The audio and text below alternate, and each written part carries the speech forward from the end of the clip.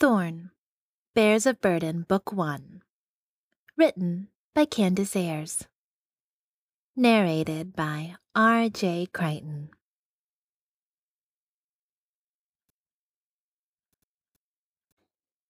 Chapter 1 Hawthorne. Check out the blonde in the pink dress. Sterling Mallory whistled under his breath. Damn, she's a looker. I'd already noticed. I'd also gone back to her place the week before. I stretched back in my chair and flashed a wide grin. Go ahead, call her over. It's been what, 20 minutes since the last time you struck out with a woman? About time for you to try again. Sterling's brother, Hutch, clapped me on the back and huffed a laugh. Twenty minutes? Hell, you must have missed that bouncy little redhead not ten minutes ago. Sterling shook his head. She was a lesbian. Don't count as striking out. It counted. I slid a glance towards the bar. Abram, my assistant manager, nodded. Everything was fine, which meant I could stay and relax for a bit longer in my favorite chair at the corner table with my lifelong buddies Sterling, Hutch, Sam, and.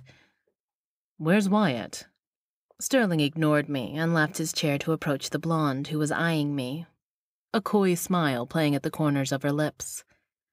I just shook my head and tipped my old John Deere cap at her. Sure, she was a beauty, but I wasn't about to give false impressions. I didn't go back for seconds. Last I knew, Wyatt was headed up the mountain with another group of would be survivalists. A shudder ran down my back. How he deals with some of those crazies, I'll never know. I swear that bear attracts the nut jobs. Hutch nodded and then nearly snorted out his beer. The pretty blonde had just slapped the hell out of Sterling. Another strike out. Looks like little brother is going home alone tonight. Nah, he always manages to find himself a pity screw. Even as the words left my mouth, a tall brunette came up to Sterling and cupped his bright red cheek. See, I don't get it. But some women love the wounded ego thing. The ear splitting sound of shattering glass echoed through the place, followed by a collective groan from a group sitting at one of the tables up near the jukebox. As the crowd parted, I spotted Cammy rushing to clean up a massive mess of spilled beer and broken mugs. From what it looked like, she'd dropped an entire tray of drinks. Damn.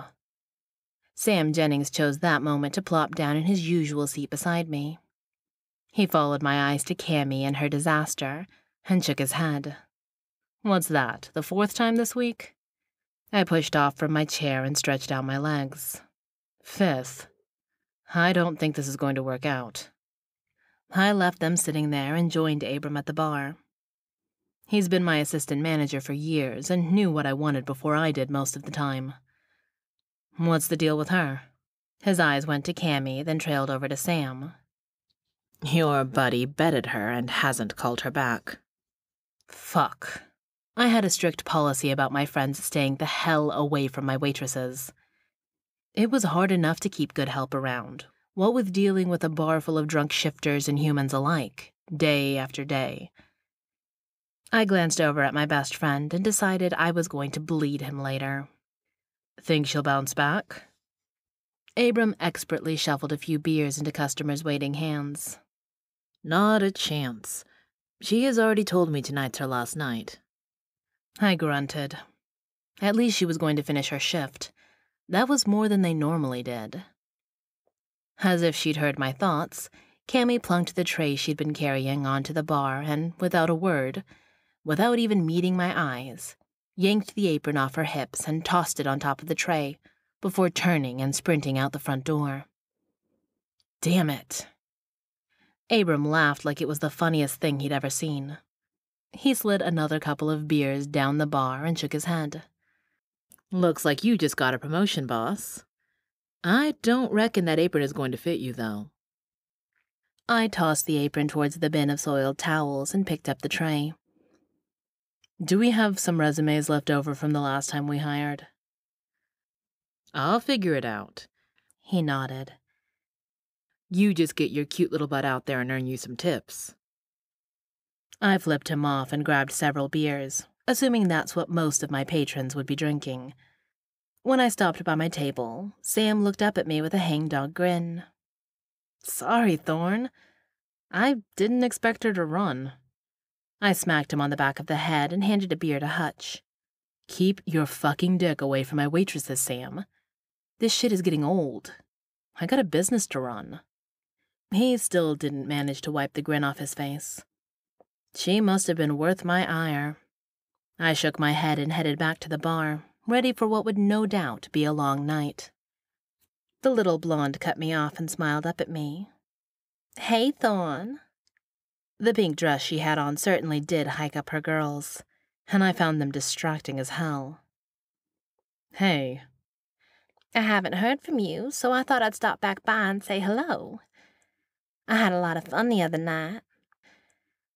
I let a crooked smile tilt my mouth. Me too.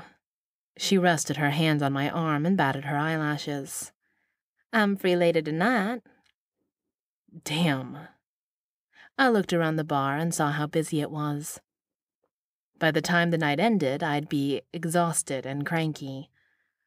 I decided that it'd be kind of nice to have a little something soft and warm waiting on me. I slipped my arm around her side, brushed my lips against her ear, and growled, I'll come round your house after I close up. She shivered and pressed herself against me. I'll be here. Just find me when you're finished.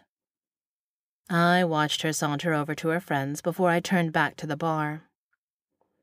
Abram had been observing with a grin on his face. When I got back to the bar, he just laughed. You're just as bad as Sam. Only difference is you don't screw the waitresses. Which is the point.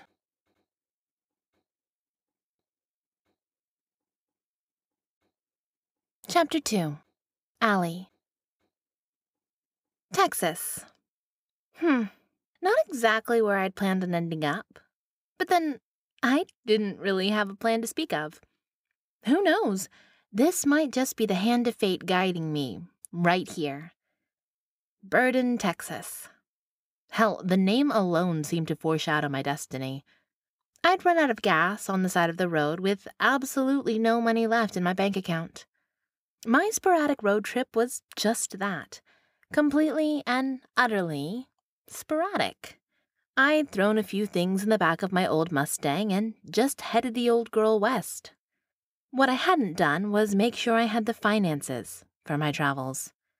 My phone died somewhere in the middle of Arkansas, and I'd left the charger back in North Carolina. The snacks I'd packed had been depleted in Tennessee. I'd grown tired of sleeping in my car at the first half of Texas. I'd gotten off the interstate in Arkansas to enjoy the scenery and crossed over to Texas in the same way. On back roads. Going through the small towns had been stunning. Until I found myself on the side of the road, stranded, with not another soul in sight. I'd just passed the sign for Burden when the damn car sputtered to a stop. I looked around and rolled my shoulders. The outskirts of Big Bend National Park had spectacular views. Burden was at the bottom of the far west side of Texas, on the Mexican border. I'd driven far off the beaten path for a chance to see Big Bend, and now, here I was, stranded in what was potentially a ghost town. I wasn't entirely sure it was abandoned, since I didn't actually know the first thing about Burden, Texas. I think I remembered seeing it on the road atlas I'd studied at a gas station outside of Austin. But I'd driven through several ghost towns that had also been listed on the atlas. So the prospects of Burden actually being inhabited was somewhere around 50 50. Anxiety started to wear at the edges of my consciousness. I snatched my backpack from the trunk and tossed it over my shoulder. I had hiked through the park and hoped to find a park ranger. Hiking the last 30 miles into Big Bend hadn't been my plan. But then again, I didn't exactly have a plan. And besides, this trip just might be my very last taste of freedom. The last chance I had to throw caution to the wind. My final hurrah, as it were. It was May, so not the hottest month of the year, but the daytime temperature was still in the high 90s. I dressed in simple, loose cotton shorts that morning that stopped just below my ass, and a spaghetti strap tank top. My clothes were perfect for the weather. My flip flops sucked for hiking. No matter. I tied my hair out of my face with a bandana and marched on. This might be an unexpected hiccup, but I wasn't one to let something like this get me down. Sure, it sucked to break down. Even more so outside a place called Burden. A place that was probably just some rugged land with a few abandoned adobe style structures on it. But technically, I was still on the road, which had been the point of leaving in the first place. To experience an adventure. I wanted to see everything. I wanted to spend as long as I could seeing everything. It had nothing to do with me running scared from the marriage proposal my boyfriend had sprung on me. Nope, nothing at all. Summer hadn't taken over yet, and wildflowers were still blooming on each side of the road. As I walked, the blooms charmed me, and I couldn't help but smile. Green grass blew in the hot breeze. In the distance, the road dipped, and I lost sight of whatever it was I was walking towards. Only when I got closer could I see the town spread out in the valley below. Burden looked like a perfect little town. I could see enough movement to convince me that it wasn't an abandoned ghost town. Awesome luck!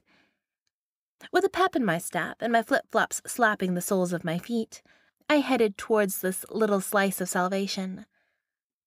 The first structure I came across was a large log cabin style place. A rustic wooden sign mounted over the door read, The Cave. I peeked in the window, and the sight of neon beer signs made me feel like I'd won the lottery. Looks like I wasn't going to die from heat stroke or dehydration out in the middle of nowhere, Texas, after all. A few cars dotted the side lot, enough to indicate that the establishment was open.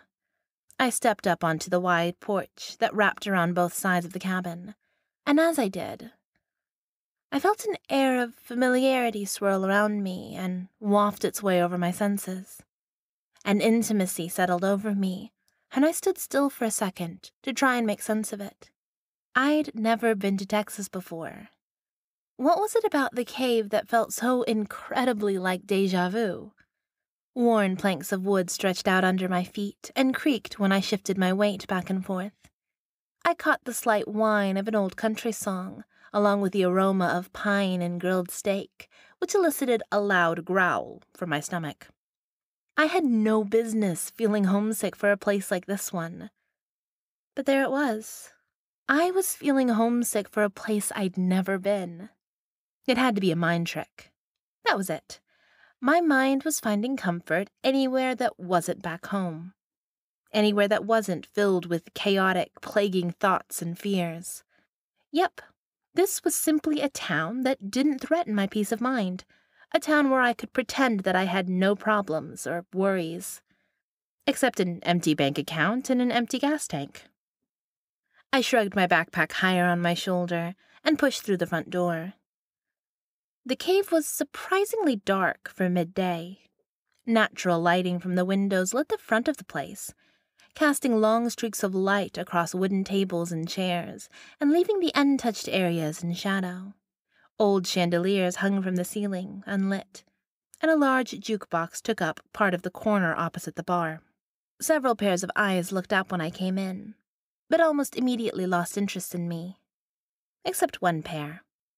The bartender stared at me and used his knuckle to lift his hat a bit. His lips curled in a friendly smile after a few seconds, so I made my way over to him. New in town? He was older, probably in his mid fifties, and had a surprisingly gentle voice. I kind of liked him already. He looked the part of a rough and tumble bartender in a Texas border town, but his demeanor instantly put me at ease. Yeah, I was driving through to Big Bend and ran out of gas. Luckily, this place was close. He narrowed his eyes and looked at me thoughtfully. Most people don't drive this way round for Big Bend. Hell, most people don't have the time to. You always pick the longest way round to something. I laughed through my nose, thinking not just of my entire trip, but my entire life. I guess so. So you just needin' some gas? A lanky kid in a chef's coat shuffled past carrying a giant steak. I tried hard not to stare. I put a hand to my stomach to muffle the grumblings and had to focus my eyes on the surface of the bar top to get my thoughts together again. Actually, I need some kind of temp job. Do you know anywhere around here that could use some help? Thought you was just driving through. I shrugged. I was, until I ran out of gas. And out of money for gas. He gave me a questioning look. Not many folks get in their car and travel the long way round places without knowing they got enough gas to get where they're going. Yeah, um, I didn't really have a destination in mind when I got in the car. It was just one of those last minute things. He shifted his weight, leaned against the bar, and studied me through narrowed eyes. You got a boyfriend chasing you down? My stomach clenched. Doubt it. The law after you? I grinned then and shook my head. Not even a little bit. You want any kind of drugs that make you crazy enough to get in your car and drive without gas money to get where you're going? Nope. It's all natural. Then you're hired. Had a waitress quit on me last night, and I could use the help. The feeling of familiarity crept back over me. And something else. Belonging. You're serious? He nodded and held his hand out to me. I'm Abram, assistant manager. You ever waitress or bartended before? Yes, sir. A time or two. I slid my hand into his. Allie.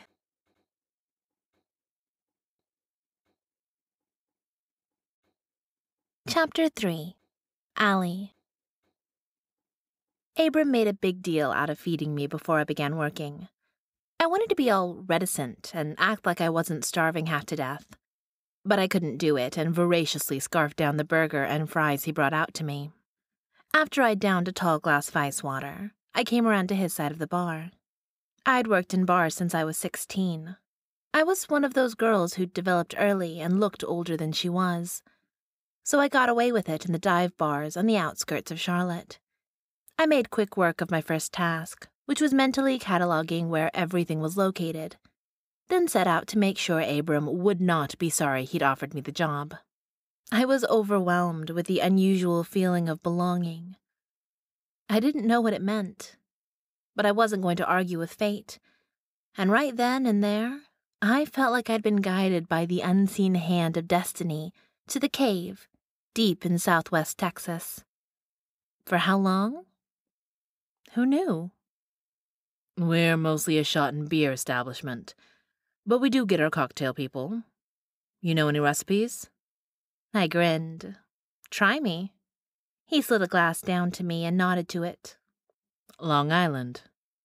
It took me a bit longer than it normally would, since I was still getting used to the bar. But I had the drink back in his hand in less than a minute and a half. He took a long swig and nodded. I think you'll do. Abram had kind eyes, and he seemed to take an instant liking to me. We talked about the tables, the food, and how he'd pay me. The atmosphere was easy and laid back. Abram made a specific point of warning me about fraternizing, as he put it, with the owner's friends.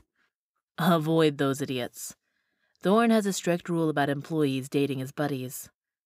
They're not exactly the love 'em and keep 'em type, if you know what I mean. Sons of bitches cost me the last three waitresses. I looked toward the table where he was pointing and rolled my eyes. Not interested, I can assure you, I muttered. I had enough going on as it was. The last thing I needed was more complications. Abram raised his arms to the air and mouthed a thank you to the ceiling. Any plans on where you'll be staying? I shrugged.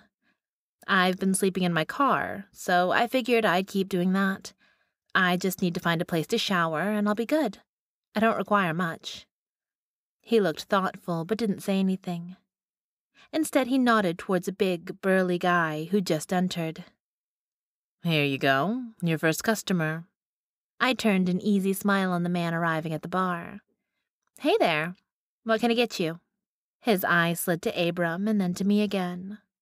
Well, well, what do we have here? Name's Allie. Now, what'll it be? The man's face suddenly split into a wide grin. I think you got a feisty one, Abe. I read the man as a beer guy, so I reached under the counter and grabbed a bottle. Domestic? His eyes lit up and he took the bottle from me. She even guessed my beer. I think this one's a keeper. Would you like anything to eat? He leaned forward. Can you guess that too, little lady? I rolled my eyes and slipped the order pad from my apron. I'm all out of guesses.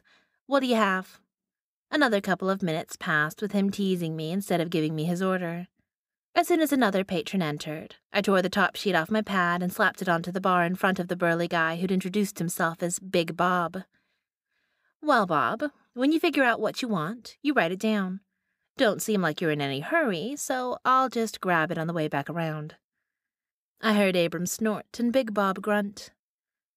Big Bob seemed harmless, like he just wanted to play and flirt a bit. But I'd been working in bars for a little over ten years. I'd learned which men's to shut down and which ones to let carry on. Big Bob had to be shut down or he'd take it as far as he could. I got the new customer's order and carried it back to the kitchen. The chef, Brady, nodded to let me know he got it. When I got back to the bar, Big Bob had scribbled across the order sheet. I rewrote his chicken scratch underneath clearer and smiled my friendliest waitress grin at him. Thank you. I'll get it out to you soon. The afternoon continued on like that. I learned who's who of the regulars, which patrons to keep an eye on, and oriented myself with the bar. In short, the afternoon flew by, and before I knew it, it was already dinner time. People filled the bar for their meals and then stayed to drink. Is it always this busy on a random Thursday night? Abram looked up from pouring a drink. Yup, pretty much. This is the only place in town that serves food. It's the only bar, too, so every day is busy. Wow, the owner is a genius. When will I meet him? Thorn? He should be in any time. He had a long night. There was something in the way Abram said it that made me think it wasn't only work that had occupied the boss's long night. I ran another round of food to a table and collected a few tabs at the bar before returning to the conversation with Abram. So the owner, Thorn, he's a lot like his buddies then. Abram seemed surprised and then thoughtful. His eyes crinkled at the corners as he snickered. I guess so. You're fast on your toes, aren't you? You sure you'll want to move on eventually? I could use someone like you around here on a permanent basis. I shrugged. I'll stick around for a few days and then see.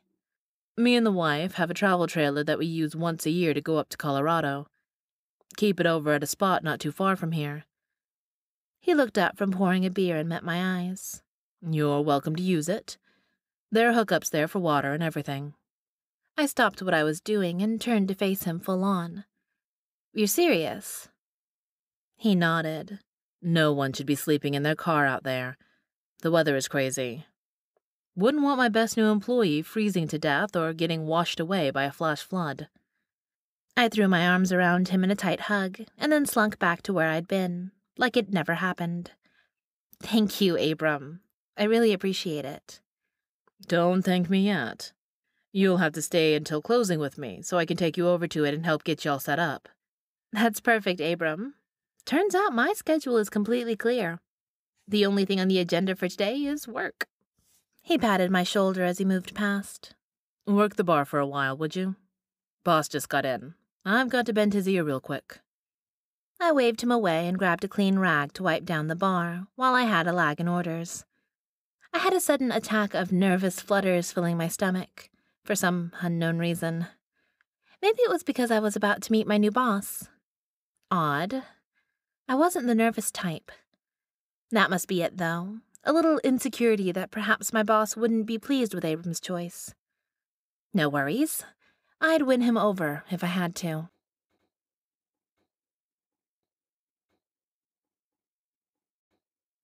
Chapter 4 Hawthorne I had the mother's mother of all headaches.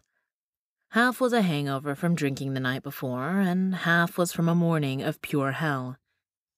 There was a reason I didn't sleep with the same woman more than once. Yet I'd broken my own rule with the little blonde last night, simply because she was there and she was easy, and I'd paid a high price for it. When will I learn? Easy is never easy.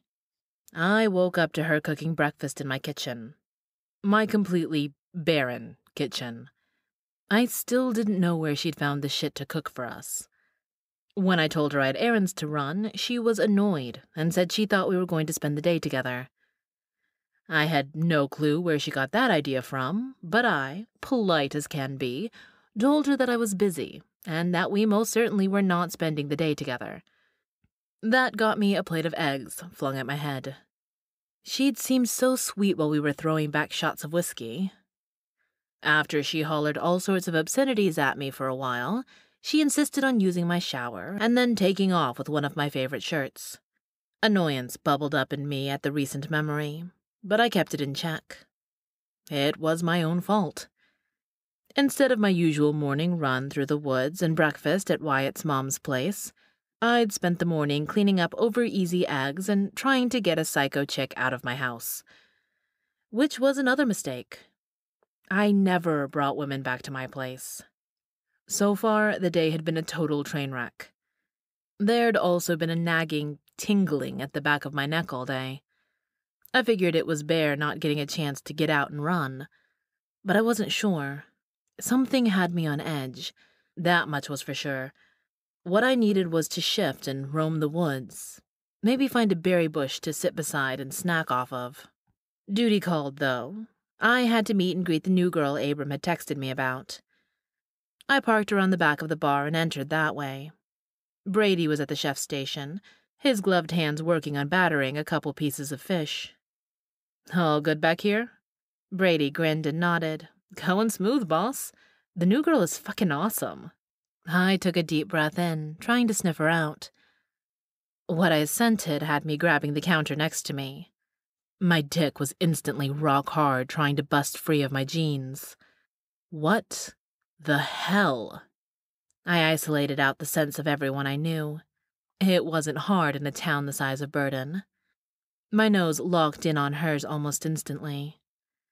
She smelled like flowers and something wilder, freer, something that reminded me of shifting at the top of a mountain, experiencing a tidal wave of fresh, sweet freedom. You okay, boss? I cleared my throat and kept my body arced in so he wouldn't see the tent in my pants. Sure. Abram came in through the doorway just then. About time you dragged yourself in here. You okay? He gave me a look, but didn't push. Allie's the best waitress and bartender we found in a while. I like her, so keep your buddies away from her. I hadn't even met the woman yet, and the idea of my friends hitting on her sent shards of irritation coursing through me. They won't bother her. He paused and frowned. That applies to you, too. I snarled at him, my frustration and long morning getting the best of me.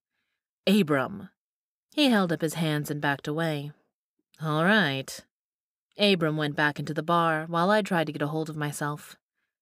I needed to eat something and get some water in my system. That would help. Will you send a plate out for me, Brady? Brady acted like he hadn't just heard me being an asshole. Sure thing, boss. I'll send it out with Allie. I felt more than heard the rest of the gang come in and settle at our table. Abram's comment stuck in my craw, and I intended to make sure they left my new waitress alone. I forced myself to head straight to our table. Something I couldn't explain fizzled underneath my skin, working my jangled nerves to the max. I wasn't sure what it was. Shifters didn't usually get sick. Whatever we might pick up was quickly killed off by our incredible healing abilities. But maybe I'd caught something exceptionally nasty. Something my immune system was struggling with. The guys were already seated at our table, all eyes focused behind me. Annoyance gnawed at me because I knew who they were watching. Keep your eyes to yourselves, assholes. You know the rules. even if some of you insist on breaking them. I dropped into my chair, still refusing to look at the new waitress. Hutch slapped my shoulder. Can't blame a guy for looking, right? I could hear the appreciation in his voice and blew out a rough breath. Already order? They all laughed, but Sam grunted. Abram ran over here like a bat out of hell, refused to let her anywhere near us, like we're some kind of sex crazed beasts. Wyatt was sitting across from me, freshly returned from his survival weekend tour. Well, I laughed and shook my head. I'm due for a major run tonight. Anybody else? Sterling swore under his breath. Oh, shit. That slap happy blonde from yesterday is here, and she looks pissed. You think she's still mad at me? Jesus, some women can hold a grudge. My eyes lifted just as she stopped at our table. Another pink dress hugging her curves. Her hair was pulled back in a style that intentionally spotlighted a hickey I was pretty sure I hadn't left on her the night before.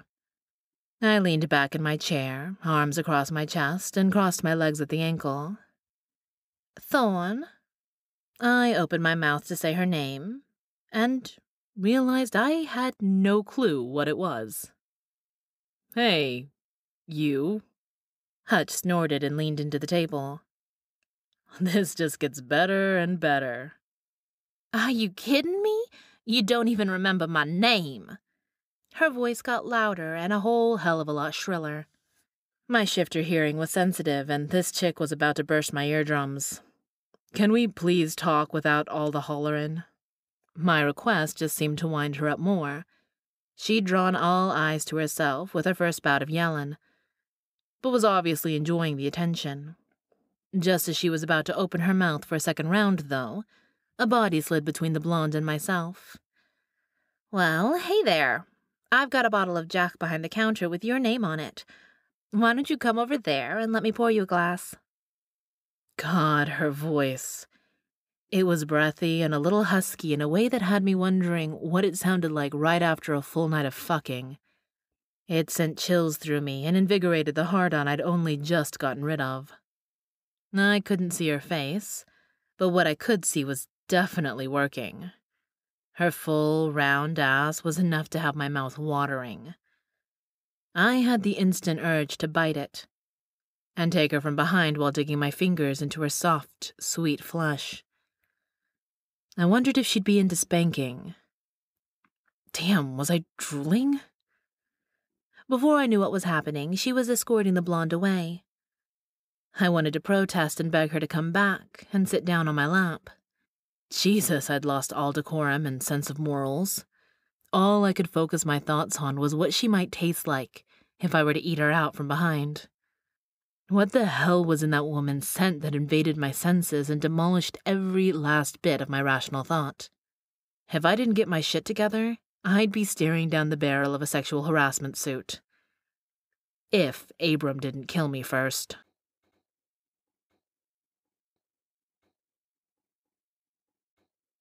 Chapter 5 Allie he took me back to his place this time, and I thought that meant he and I were getting a little more serious, you know? Then he kicked me out and wasn't even sorry about it. So I went and slept with my ex. I handed a beer to another customer and took his money. Change? He shook his head no while making a pained face towards the pretty blonde in front of me. I winked at him and turned my attention back to her. Well, was it good? She made a confused face. Huh? I leaned my elbows on the bar and grinned at her. Your sex with the ex. Was it good? She tilted her head to display a giant hickey. I mean, yeah.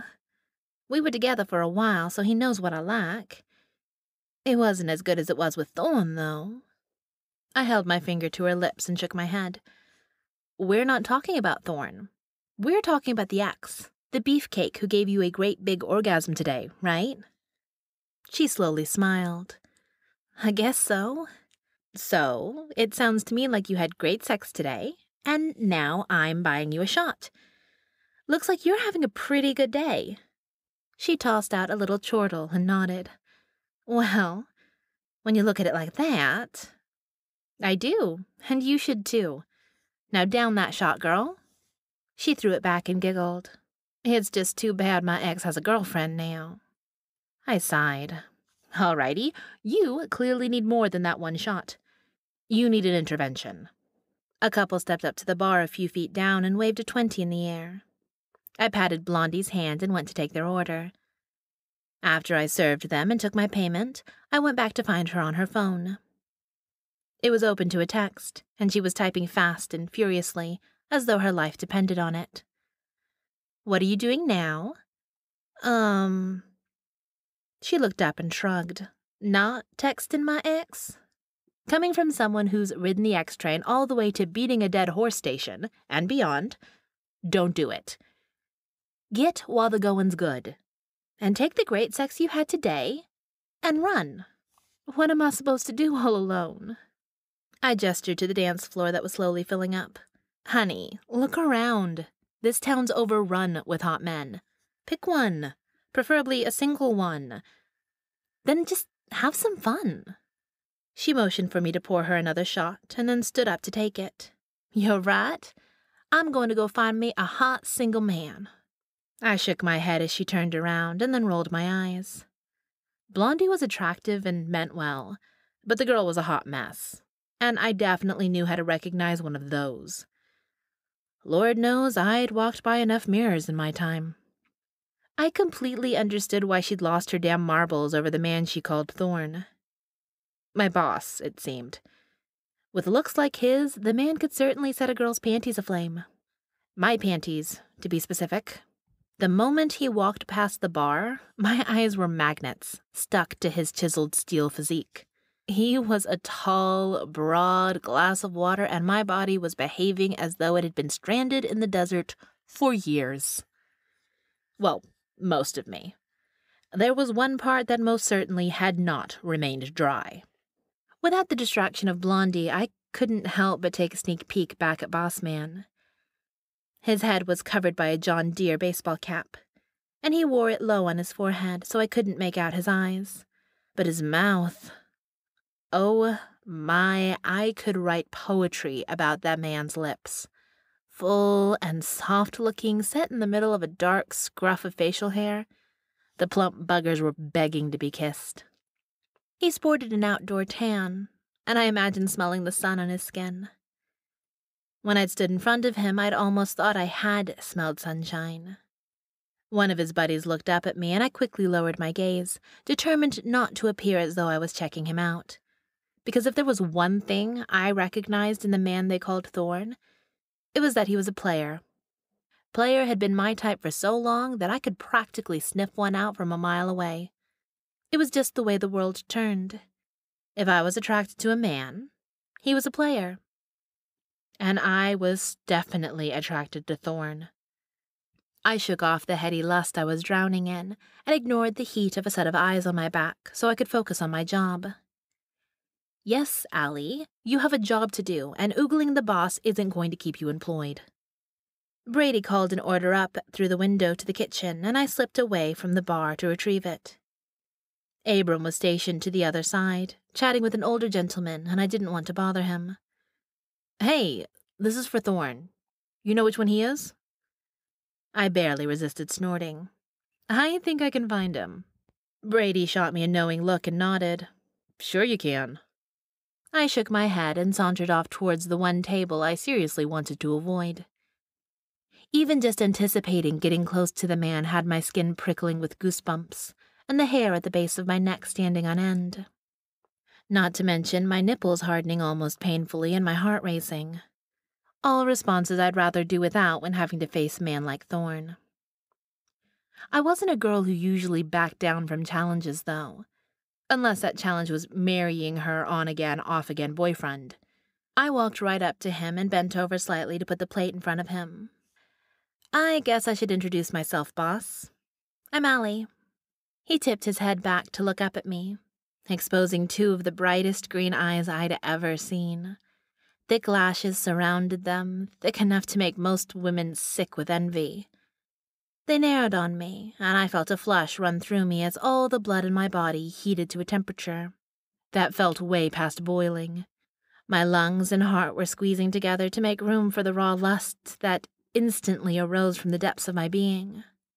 I didn't need to breathe, right? It would seem that I'd crossed over into a place where my lungs felt no pressure at all to get air into them. Hawthorne. His deep voice raked its nails down my back, eliciting the sweetest chill. It shocked me out of my stupor. I suddenly realized I'd been bent over in front of him for who knows how long, just staring into his bright green eyes. With a gasp of air, I stood up straight and hurried back to the other side of the table. I rested my hand on the shoulder of the guy in front of me, desperately needing something solid to bring me back down to earth. I thought I heard a low growl, like from a wild animal, but that just played witness to how much I'd lost it. Do y'all need anything else? I forced my eyes to move to each man at the table, except Thorn. A more permanent bodyguard, maybe, just in case there are more angry Barbies lurking.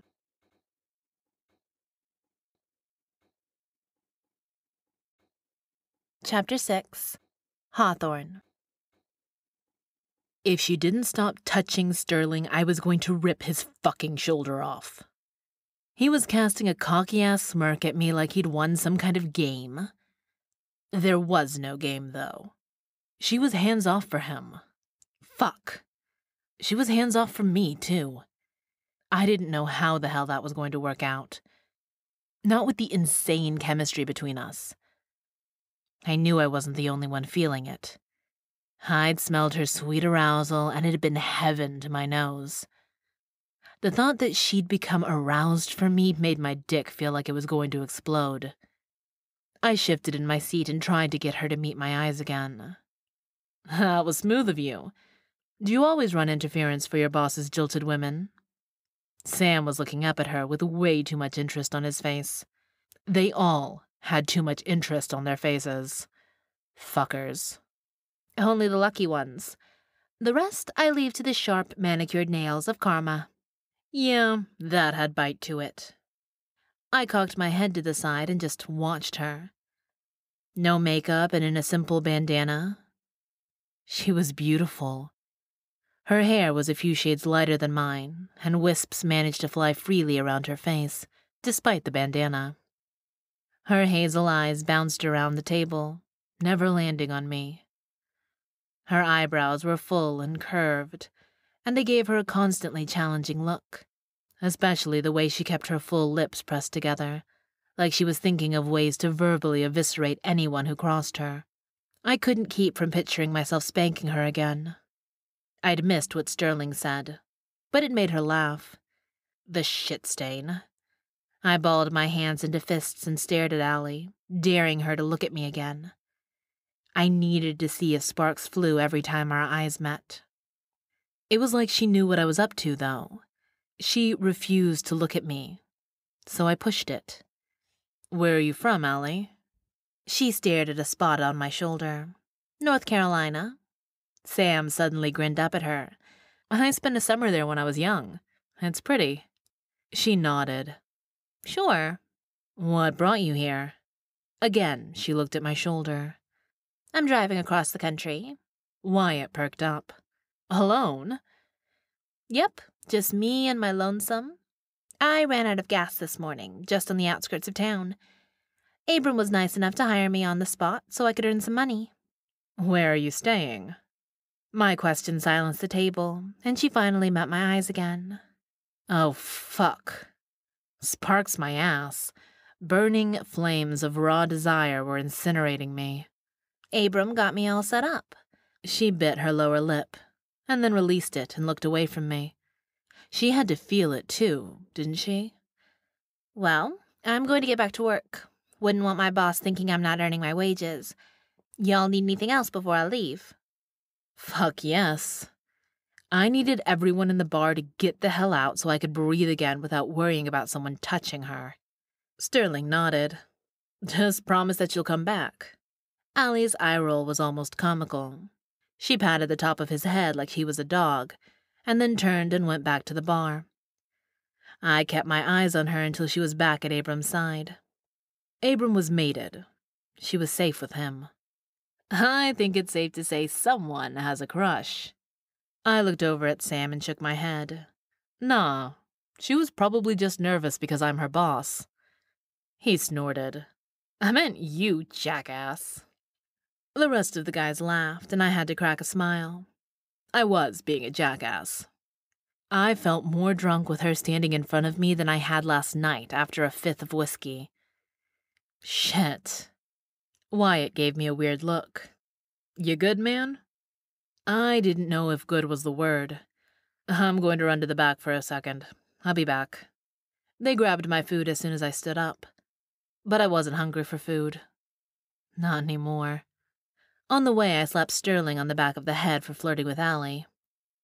I slipped into the kitchen, threw open the fridge door, and stuck my head inside for a few seconds. Jesus. You okay, boss? No.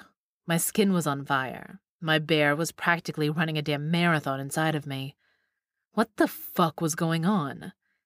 I knew skipping my run this morning had been a mistake. Sure. I headed to the office and slammed the door. I needed distance from that woman. I needed space and a few minutes to get myself together.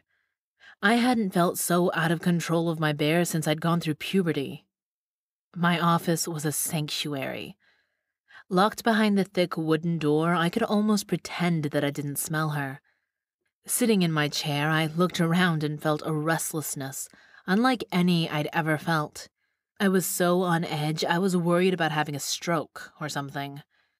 I had recently turned 38. Maybe I was experiencing some kind of curse. Lord knew my father hadn't lived to 40.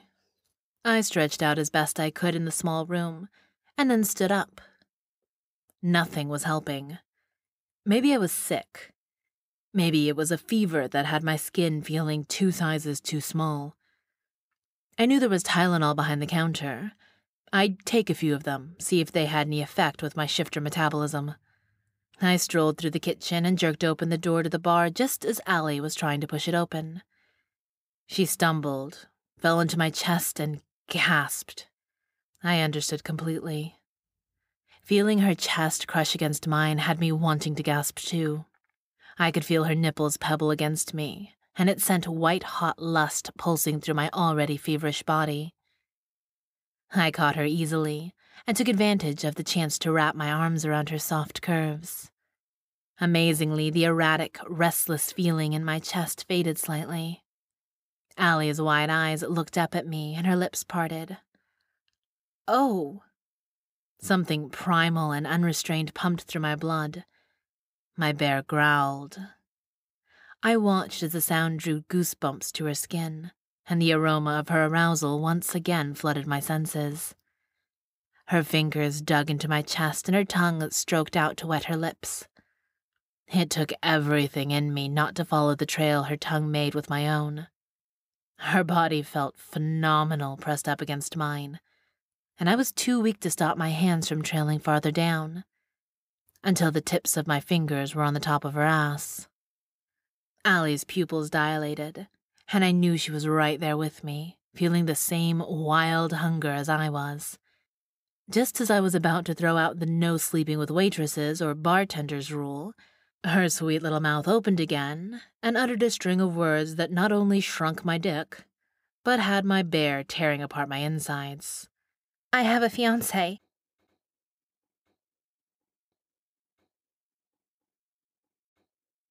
Chapter 7 Allie Thorn growled again, low in his throat just loud enough for me to hear it. I should have been freaked out, but instead I wanted to climb him like a stripper pole. Everything about the man was intoxicating and off limits. Off limits.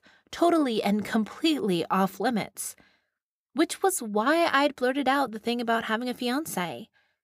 Remembering that little tidbit caused my cheeks to heat up, but my brain was able to kick into gear again. I let go of his shirt and pushed away from him. Sorry I bumped into you. Like that was all that had happened. Like I would ever not feel his fingertips on my ass or his massive erection pressed against my stomach. Thick and heavy and ready to go.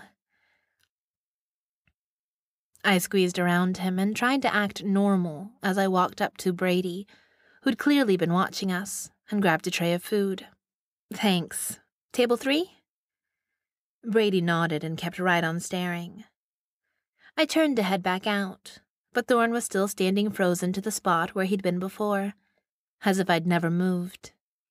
I edged around him and sucked in as best I could to avoid touching him again. There was something about him that made the slightest physical contact drive me crazy enough to imagine all the ways we could smoosh our bodies together. Allie.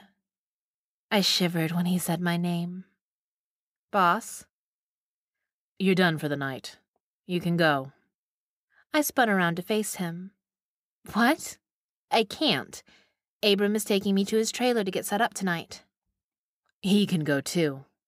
His eyes were an even brighter green than they'd been at the table, and his body was nearly vibrating.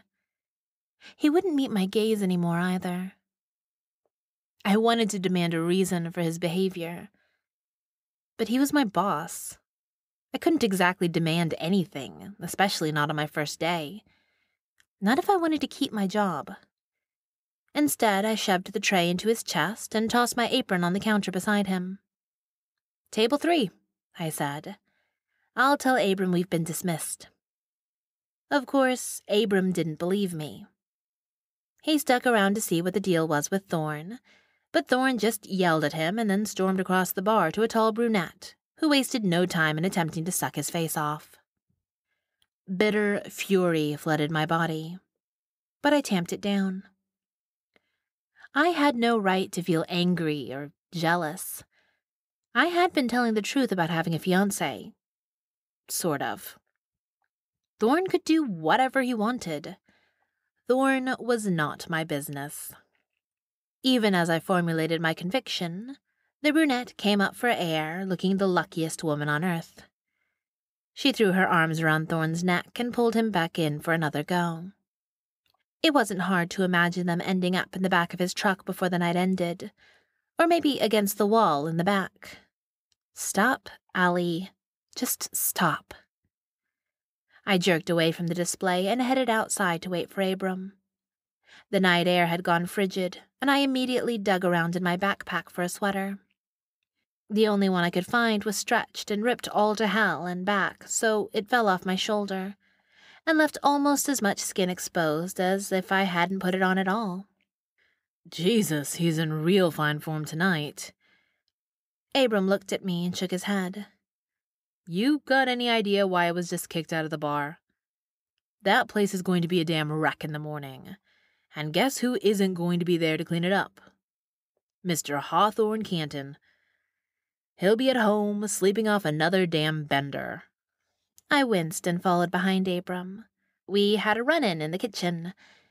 But it shouldn't have caused that reaction. What kind of run in?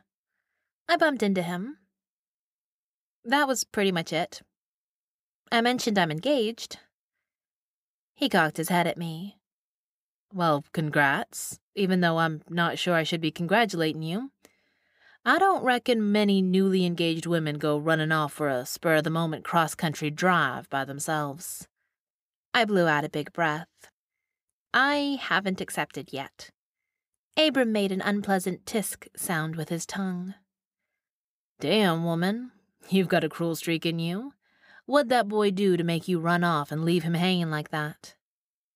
I climbed into his truck and reached for the seatbelt, only to find it missing. I motioned towards it when he got in, but he just shook his head. Okay, um, well, he didn't do anything, I guess. I don't know. He's a lawyer from a wealthy family, already owns his own home, and it's huge. On paper, I guess he's great. Abram started the truck, and it shimmied to life. You don't seem too enthused, though. Eric was probably sprawled in his king size bed back home in North Carolina, tucked under the Egyptian cotton sheets that his housekeeper, Kelly, laundered every other day.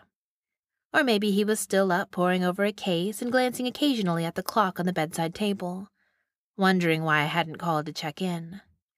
He was probably in his college t shirt and the flannel pajama bottoms I'd given him for Christmas three years ago. There was probably an empty whiskey glass caught, forgotten between his legs. I don't know. There's a lot of history there. Picking up that I wanted to drop it, Abram just adjusted the static filled radio station to one slightly less broken up. I still don't understand why Thorn went all jackass. He should be thrilled that you're engaged and not going to be tempted by his friends. One less chance of you being run off. I didn't say anything, and Abram cleared his throat. Unless, of course, he's interested in you. I kept my eyes straight forward and sighed. I don't know about that either. He laughed. Convenient.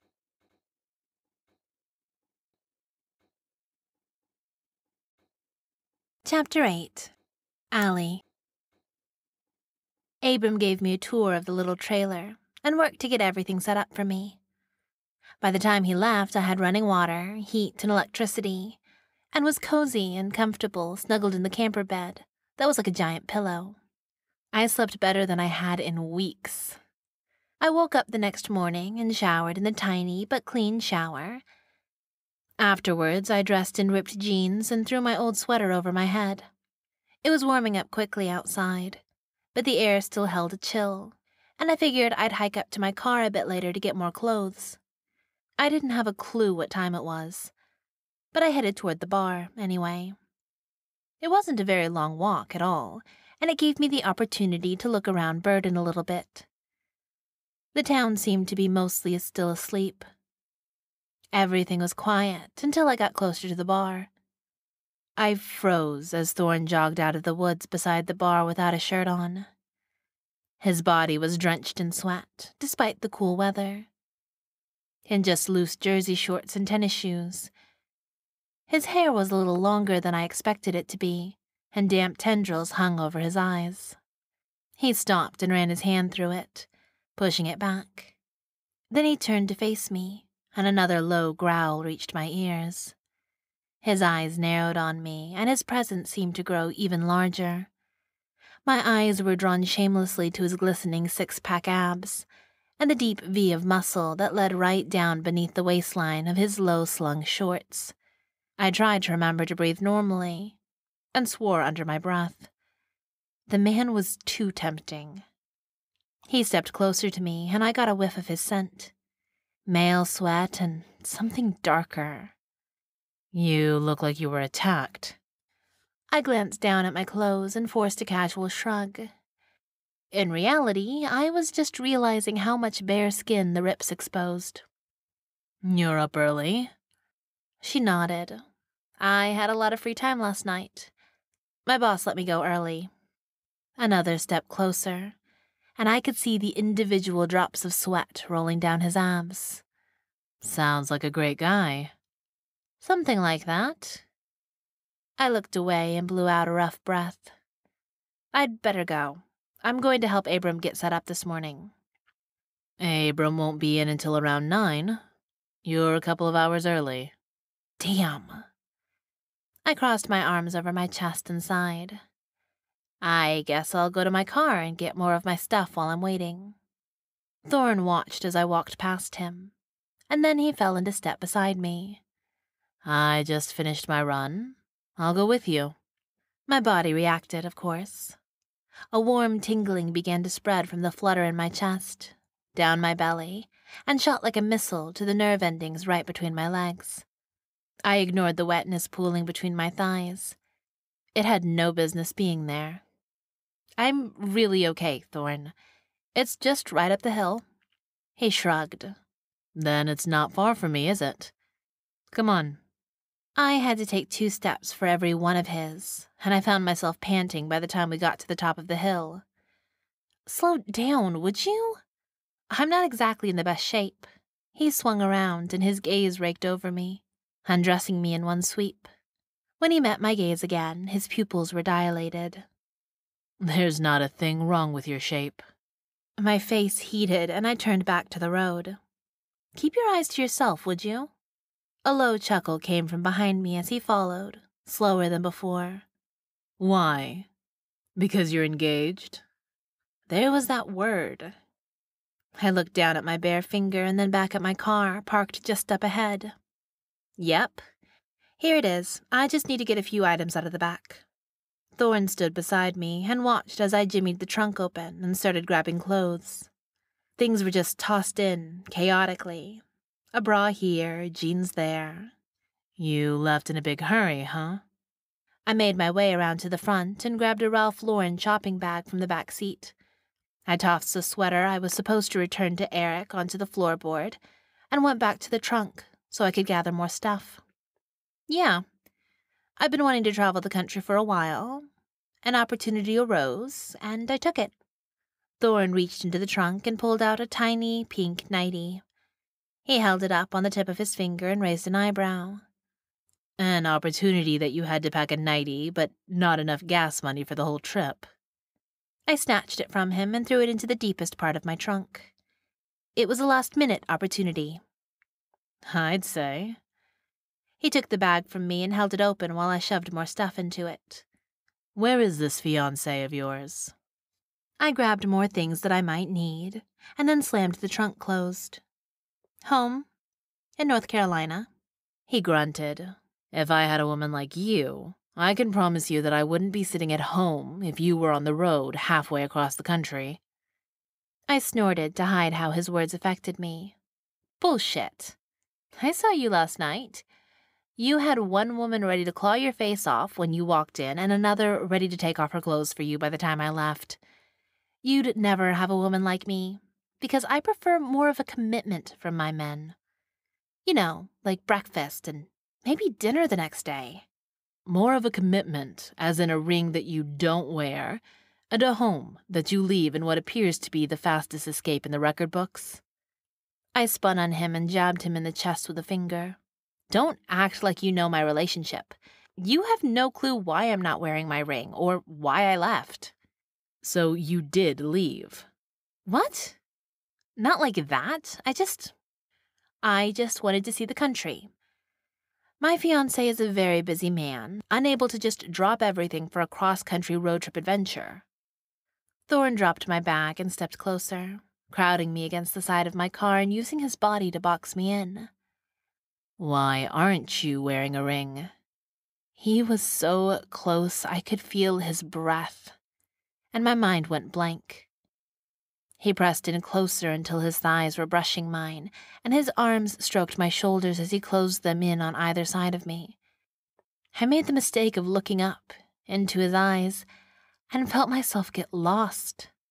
Thoughts escaped me, and I suddenly felt like I was floating. He slowly lowered his mouth, closing the distance between us. When he was just centimeters from my lips, he flicked his gaze between them and my eyes.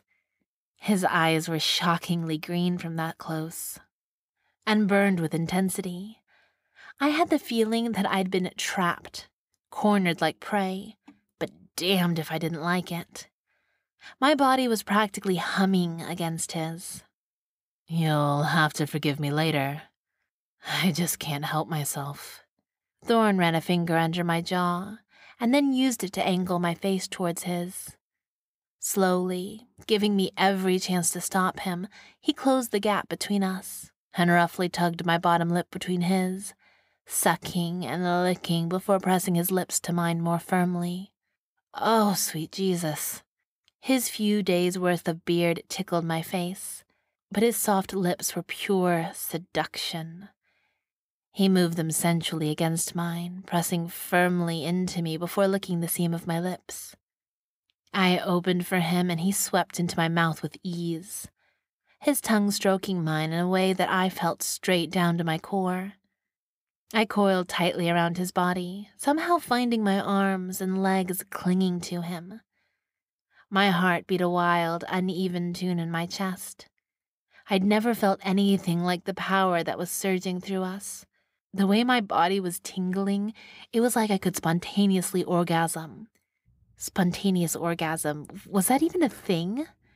Thorn's fingers raked through my hair and he gripped it tightly, tugging my head back as his searing lips kissed their way down my throat, roughly. His teeth scraped my skin and I cried out in a voice I didn't recognize. The urge to have him sink his teeth into me rolled over me like a tidal wave, and I arched my back, pushing my throat further into his mouth.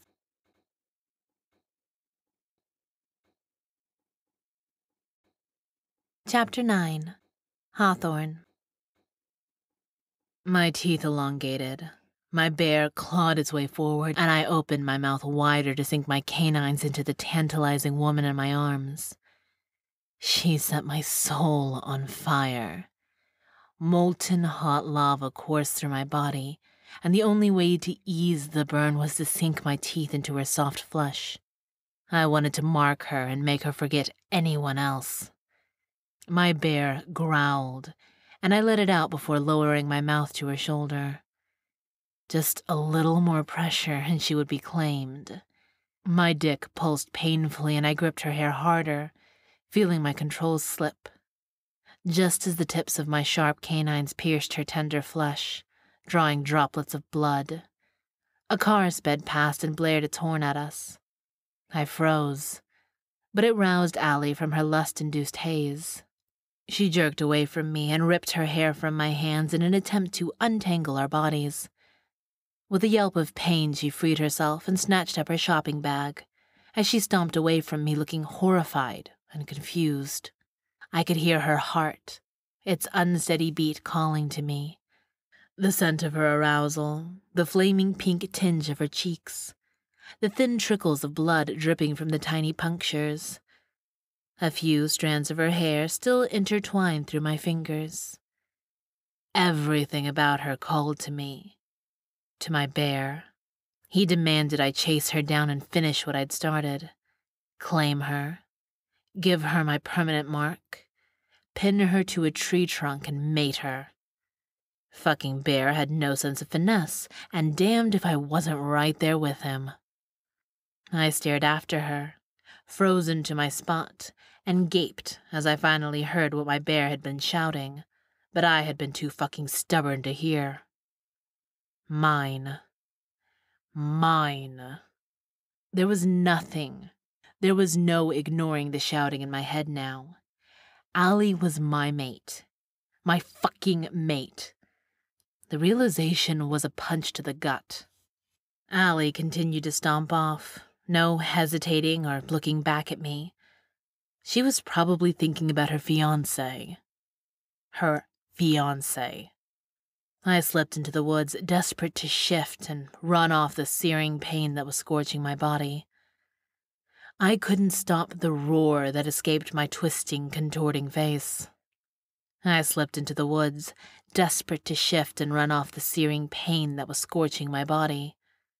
It wasn't until I had shifted and was standing as bear, looking after my mate, that I realized with horror my escape. I'd allowed my bear to take control of my body. I now had no chance of keeping him away from Allie.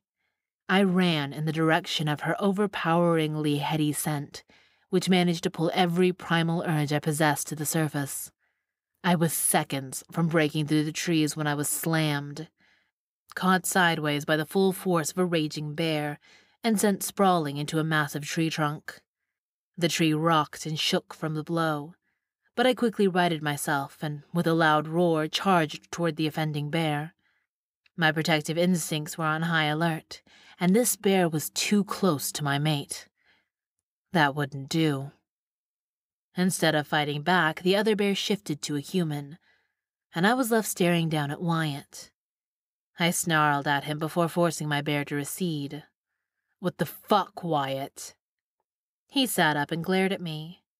What the fuck, Hawthorne? You were charging at your new waitress. What were you planning to do? I knew that I didn't want to confide the truth to Wyatt. The truth that my new waitress was also my mate. I couldn't identify why I felt the need for secrecy. Normally, I was an open book.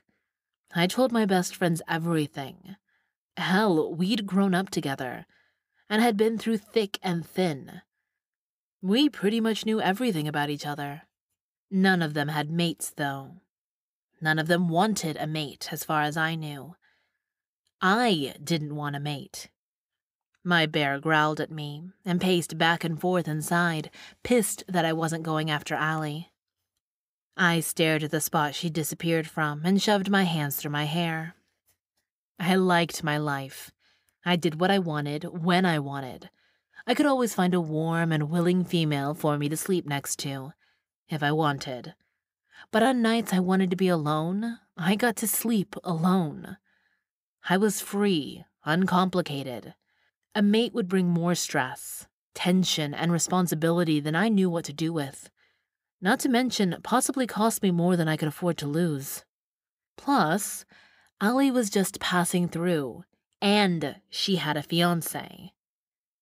Well, I wasn't running after her. I was just running. I didn't see her until it was too late. We both knew he could hear the lie in my voice.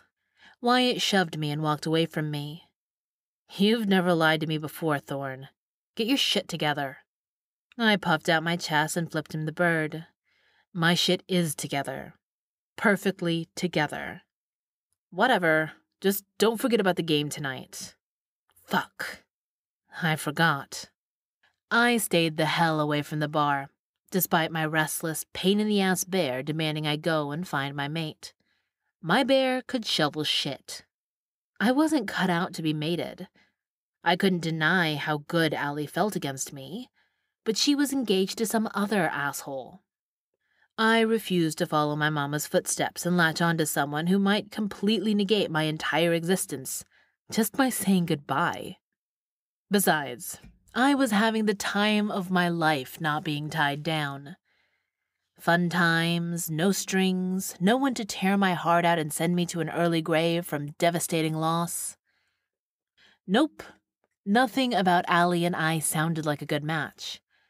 I just had to avoid her. It wouldn't be that hard. I'd make sure Abram put her on the daytime shifts and I'd come in late. No big deal. Except, apparently, my bear wasn't on board with that plan. I found myself turning in the direction of the bar. If I breathed in too deeply, I could still smell her. The whole thing was torture. Until Wyatt's reminder, I'd almost forgotten about the hometown football game. A lot of the shifters in town liked to get together and knock each other around as hard as we could one night a week. The guys and I were on an undefeated team so far, it was always a good time, and I even shut the bar down for a couple of hours and sold beer from a big cooler on the sidelines. The local high school wasn't large enough for its own football field, so we used the field behind the bar. The location made it easy to get supplies from the bar out to the crowd. Football night was cherished. Shifters naturally had a little extra violence in them, so being able to take it out on one another on the field was always fun. It could get messy and a little bloody, but it was all just for the fun of the game. After all of the tension I had built up inside from fighting with my bear to stay away from Allie all day, I needed a release. That was why, 15 minutes before the games were supposed to start, I was already on the field, in just my shorts and tennis shoes, ready to go. Wyatt was next to me, giving me weird side glances but none of the other guys noticed or cared. We were all energetic before a game. Most of the time, we ended up matched against a couple of guys we'd never gotten along with, and it was a hell of a lot of fun to take them down. I thought I was feeling better and looking forward to some ass kicking. But then Allie walked out the back door of the bar, her round ass calling to me as she bent over, wrestling the cooler out. She was wearing a short skirt that kept catching in the breeze. The way it flirted around the bottom of her ass cheeks had me damn near choking on my own spit. Of course, Sterling and Sam made no qualms about taking in the sight. Just as a bigger breeze blew, her skirt floated up for a second, giving us all a view of her perfect ass, beautifully wrapped in a pair of lacy panties. My dick tented my thin shorts, and I couldn't contain the growl that emanated from my chest and rumbled across the field. As if on cue, Allie stood up straight and ran her hands down the back of her skirt, smoothing it, before turning and meeting my eyes. Her face flushed pink, and she spun back around to the cooler. What I wouldn't give to take a bite out of that sweet, sweet ass. I turned and punched Sam in the arm as hard as I could. He winced and shoved me. What the hell, man? Don't talk about my. What could I say? Waitress like that. Instead of arguing it anymore and playing chance with losing my cool any more than I already had, I hurried over to Allie to help.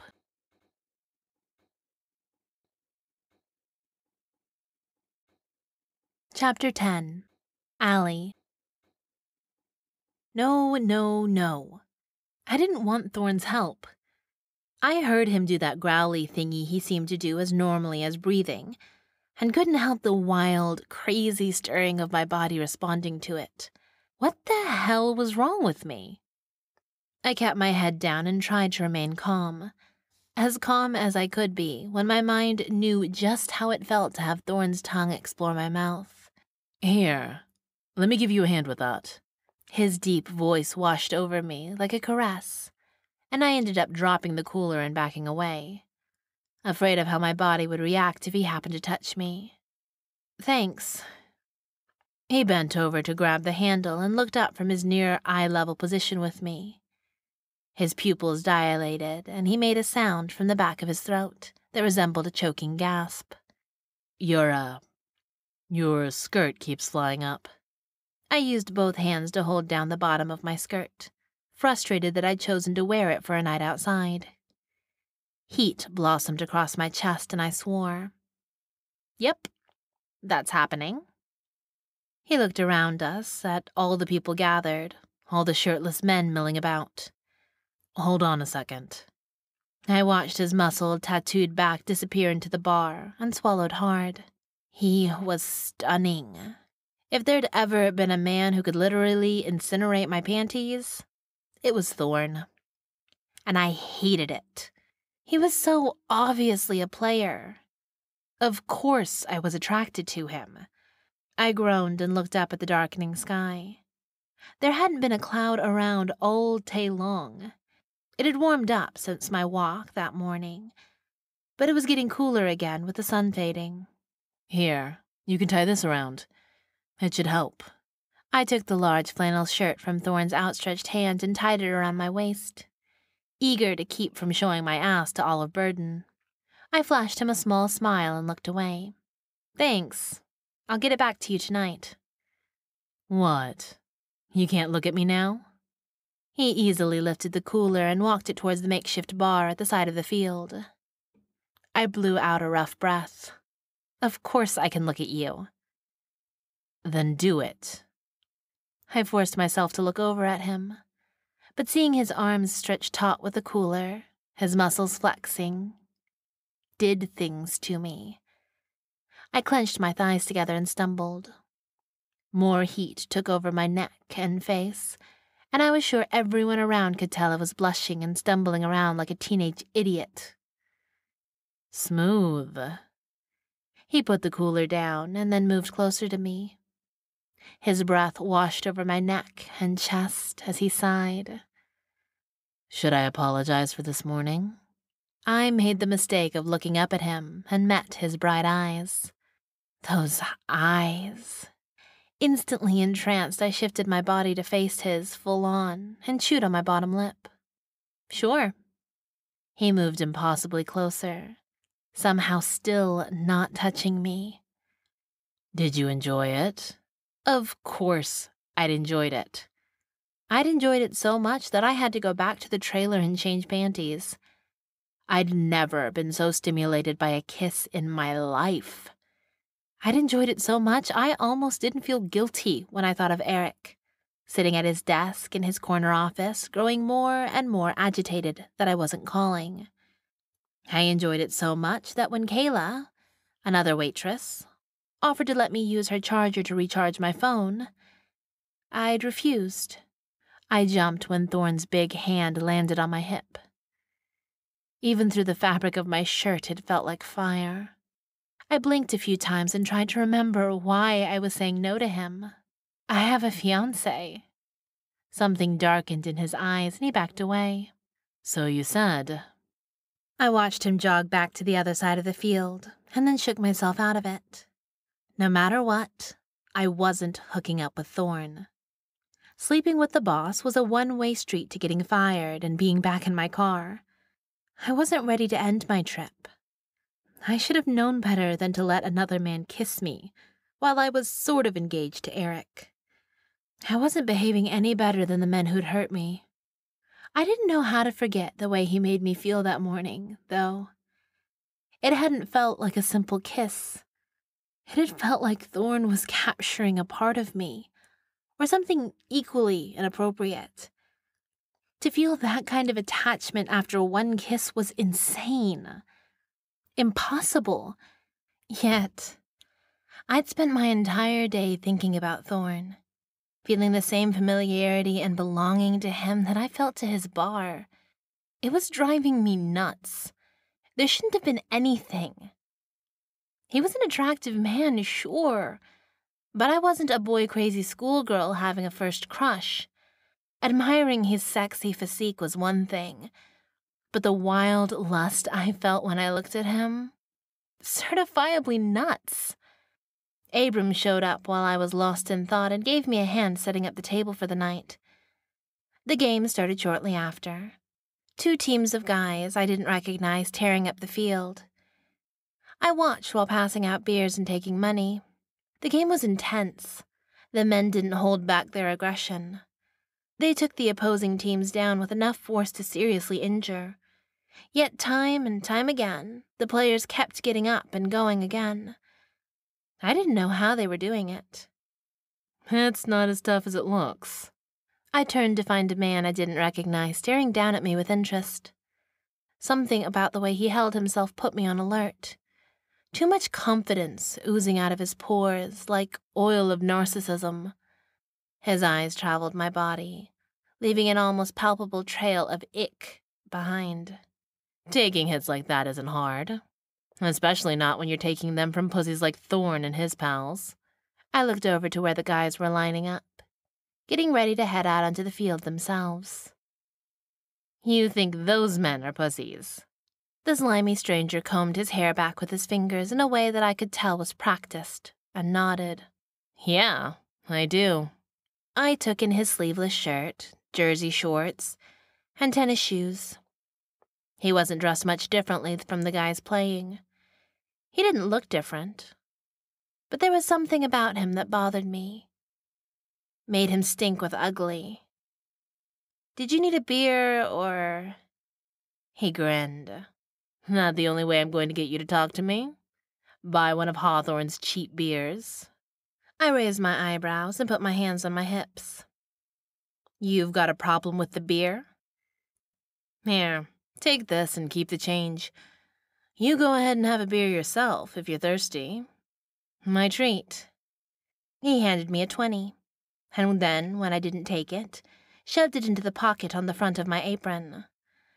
Let's talk about something other than those idiots. When did you get into town? I was going to lose my shit on him. As stressed as I already was with my lust for Thorn growing by the minute, I couldn't handle some jerk being all weird with me. You want a beer? I'll sell you a beer. You want to talk? Go find a therapist. I'm working here. And take your 20 back. I'm not accepting tips tonight.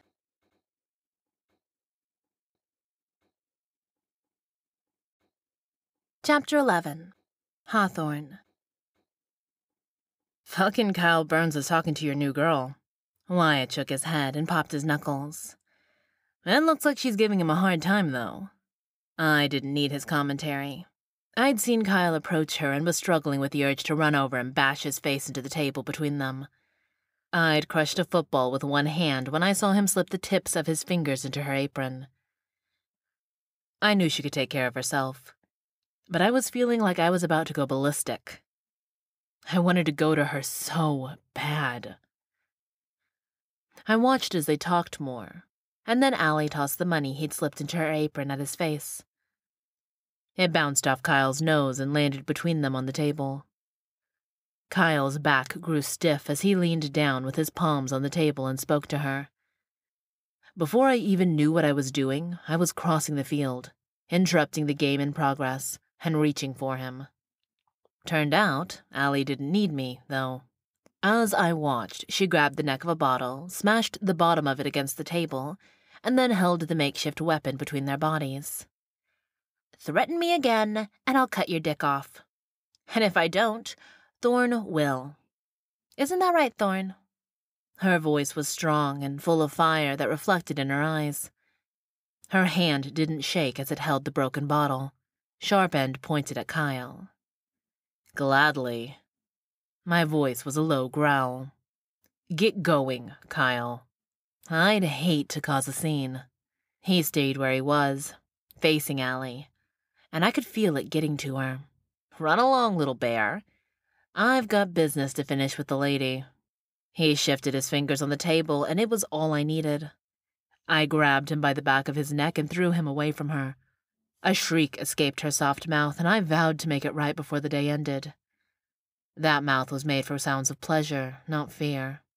Kyle spun around to face me, but I was already planting the bottom of my shoe on his chest. He went flying backwards, and I followed, muscles expanding and threatening to shift. Stand down, Kyle. Unless you want to thoroughly embarrass yourself. He climbed to his feet, and I let him. Afraid of a little competition, Thorn? Competition? For Allie? He'd die painfully before I let him lay a finger on her. My bear would never allow it. If you know what's good for you, you'll turn tail and head home. He leered, practically baring his teeth at me. You think you're the shit, don't you? I should show you just how untrue that is. I was just about to show him just how far he was pushing me, but Sterling and Sam appeared at my side with Wyatt and Hutch behind them. Hutch stepped behind me and squeezed my shoulders. Relax, brother. This punk is leaving. Wyatt crossed his arms. Right? And just that quickly, it ended. Kyle was a fool and was going to need to be reminded of just how far down the rankings he really was. But he wasn't crazy enough to try to take on all of us. Most likely, he wasn't even crazy enough to try to take on just me alone. So when he turned to leave, we let him go. I'm getting really fucking tired of this shit. I looked at Sterling and rolled my eyes. You did that. Sterling started rambling about how it wasn't his fault, but we all knew the truth. Sterling poked his pecker in the wrong place, and that place happened to be Kyle's girlfriend. Since then, the man had had it out for us. He'd made it his mission to fuck with us every chance he got. Well, either way, looks like their team is one down to play us. I glanced back at Allie, and then to Hutch. Nope, we're down one too. I'm going to take Allie inside and make sure she's okay. Play this first game without me. They tried to hassle me about it, but I ignored them. Even though I knew what I needed to do, I couldn't do it. I couldn't stay away from her. That little cry of hers was echoing around in my head like a fucking bullet to the brain. She was standing where she'd been, the bottle at her side. I finally noticed the way her fingers were now trembling and eased the bottle from her. Come inside with me for a second. We'll make sure you're okay. I tossed the bottle away and took her small hand in mine. Warmth spread from my stomach out, and I had to swallow back a groan. She was going to be the death of me. I couldn't have her, but my body didn't understand that. My bear sure as hell didn't. She let me lead her inside the back door and into the bar. I figured she could use a shot after all that excitement. Where'd you learn that nifty little bottle trick? A shaky laugh escaped her mouth. What? That's not normal? Your daddy didn't get into bar brawls in front of you when you were young. I looked over my shoulder at her while grabbing a bottle of whiskey. My old man was more of the leaving type, though I'm sure he did participate in many a bar fight. Just not around here. She was quiet until I slid a shot in front of her. What's this? I picked it up and held it to her mouth. Your hands. You're trembling. Figured you could use something to knock the edge off. Amazingly, she parted her lips and let me tip the liquid into her waiting mouth. Her throat worked as she swallowed it down, drawing my eyes to it. That guy was such a dick. What was his problem? I threw back a shot of my own and pushed the bottle away. It wasn't enough. Nothing was enough to dull the aching desire I felt for her. It pulsed through me until it felt like this physical entity wrapping around my throat, leaving me no chance of getting away unscathed. Thorn? I shook my head to clear it. He's just an asshole. What did he say to you? He just told me I was nothing and that he could have me in a second if he really wanted me. Something like no one would stop him because he's the best, yada, yada, yada. I ground my teeth together and clenched my fists. I'm going to kill him. Allie shook her head and then looked up at me. A sudden wide grin spread across her face. You should have seen his face when I broke that bottle. Anger left my body in an instant, replaced with scorching heat. Her beautiful smile nearly brought me to my knees. I was an idiot for thinking I could be near her and not touch her. Allie. Her eyes widened, but she didn't leave. It was a sign I needed, or didn't need. I didn't know what I was doing when it came to her. God help me.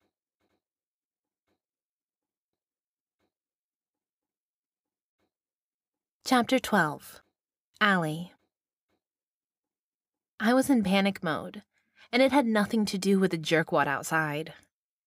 It was Thorn. I'd let him pull me inside, away from everyone else. Just the two of us. Sure, I was a little taken aback by the fact that I could so easily break a bottle to use as a shank. But then again, I wasn't some delicate flower. I was capable enough to stop Thorn if I hadn't wanted to be alone with him. Yet, here I was, facing a man whose sex appeal was something that should go down in the record books. Thorn's eyes glowed in the dim light of the bar. He seemed bigger behind the bar, where there was less space, and I felt myself being tugged towards him by the sheer will of my body. I wanted him like I'd never wanted anyone or anything before in my life. I knew the difference between right and wrong, and I knew I shouldn't but I couldn't help myself. Or maybe I could, and I just didn't want to anymore. The man made resisting him for 24 hours feel like a lifetime of neglect. A strong hum from the music that someone had turned on over the loudspeakers outside teased me. An old southern rock beat pulsing in tune with my heartbeat, until I could feel it all over my skin, in my core, at the tips of my breasts. I felt like I was in heat. I shouldn't do this. Thorn watched me with his lower lip caught between his teeth, while his eyes danced over my body and face. When he let his lip go, there were indentions from his teeth there that I wanted to lick. Do what, Allie? This thing with us. I gestured between our bodies, my knuckles grazing his stomach as I did. He reacted like I'd burned him. He sucked in a sharp breath and stood up taller. Leave then. Get back out there and serve drinks. Do the smart thing. For both of us. I should. Yes, sirree, I absolutely should. I stepped closer to him. You want me to go? He stared over my head and grabbed the bar behind him. His knuckles were white from the grip he had on it. Yeah, I think you should. I didn't want to hear no from him. I didn't want to leave and be the good girl. I could maybe justify it later by rationalizing that I wanted the experience of being the one who did the bad thing for a change. But honestly, that had nothing to do with it. I just wanted Thorn with every screaming cell of my body. I wanted him inside of me, I wanted him to do things to me. Naughty things. Things that I'd never wanted another man to do. I needed him bad. Not happening. I leaned into him, pressing my chest against his, and gasped as my nipples met his solid body. His bare skin was hot to the touch, and I couldn't wait to taste him. Do you know that out of the four serious boyfriends I've had, all four of them have cheated on me? I don't know why I said that. Maybe an attempt to justify what I was about to do. He tilted his head back and stared up at the ceiling, still not touching me. Even the fiance? I gave in and dipped my face forward so I could run my tongue up his chest. That gained me a low growl, and I rewarded myself by moving over slightly and flicking my tongue over his nipple. The jerk and tensing of his muscles encouraged me, so I did it again. Every single one of them, I whispered softly. And I still remained the good girlfriend, doting and caring baking goddamn cupcakes and showing up at their offices in nothing but a trench coat. I was an all star frickin' girlfriend to each of them. I raked my nails down from his shoulders and lightly bit down on his nipple, before moving over to the other one and doing the same. Still kept right on smiling through the pain and doing my very best not to inconvenience anyone. I turned around and snaked my body against Thorn's wiggling until I felt his rock hard boner pressing between my ass cheeks. When I straightened, I wrapped my arms behind me and around the back of his neck. I'm done with that. I deserve to be bad. Help me be bad, Thorn. I let out a squeal as he grabbed me and spun me around so that I was sitting on the workbench in front of him, his hands branding my knees where he touched them. You want to be bad? I bit my lip and nodded.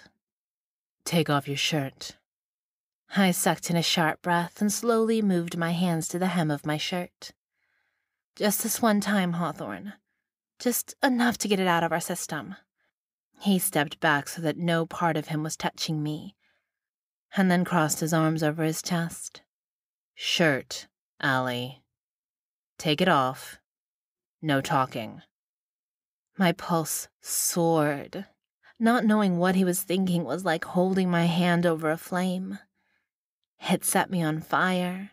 The danger so real and threatening to the life I'd accepted for myself. Would he grab me on my way out of work the next day and demand a replay? The day after that?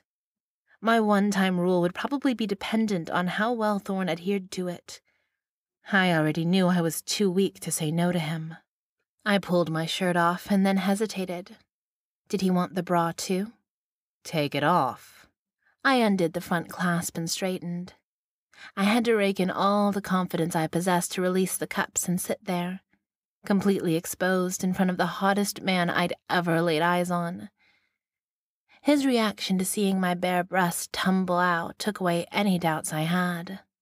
Thorn growled and slammed his hands on the metal station on either side of my thighs. His eyes remained riveted to my chest, glowing as he licked his lips. Fucking idiots. I leaned away from him. Excuse me? The boyfriends. Fucking idiots. What kind of man could experience your tits and still wander? I laughed, but it turned into a cry of pleasure as he leaned forward and nipped at the top of my right breast. I caught his head in my hands and pulled him up to my mouth. More. He shoved my knees apart and stepped into the gap there. With one hand, he dragged me closer to the edge, so his erection rubbed against my panty clad core. With the other hand, he grabbed my hair and used it to tilt my head to the side, so he could devour my mouth in a soul shattering kiss. I never stood a chance when it came to denying Thorn Canton.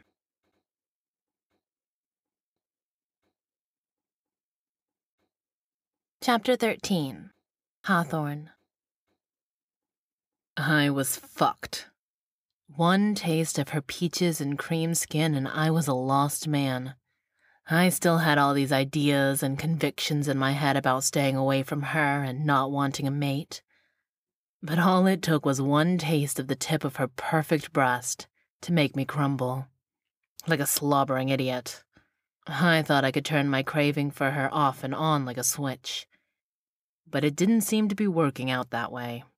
I took her mouth, kissing her like I'd die if I didn't. She tasted like whiskey and sugar, as sweet as she was spicy. I slid my tongue against hers and rocked my dick against her wet panties.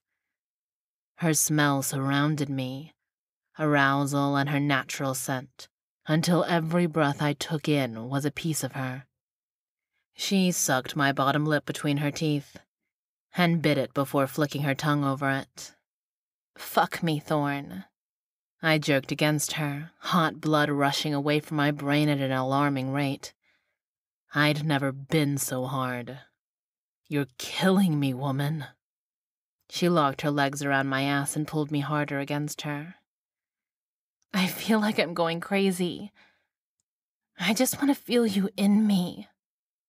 I kissed down her jaw and brushed my teeth against her throat and neck, leaving a trail of goosebumps behind. Wait. She writhed against me. Don't want to. I cupped her perfect tits in my hands and tweaked her light pink nipples before lowering my mouth and taking them in, one at a time. You put me in charge, baby. You're going to have to do what I say. She shivered under me and yanked harder on my hair. Mistake. I'm taking charge. Fuck me now. God, I was going to shoot my load into my pants if she kept talking like that. Instead of listening to her, I kissed further down. I dipped my tongue into her navel and then moved even lower. I buried my face into her lap and rubbed her through her skirt with my nose and chin. I'm going to taste your pussy until you come for me first. The wrecked cry that fell from her lips had me clenching my whole body. I flipped her skirt up and then easily yanked the lace panties down her legs.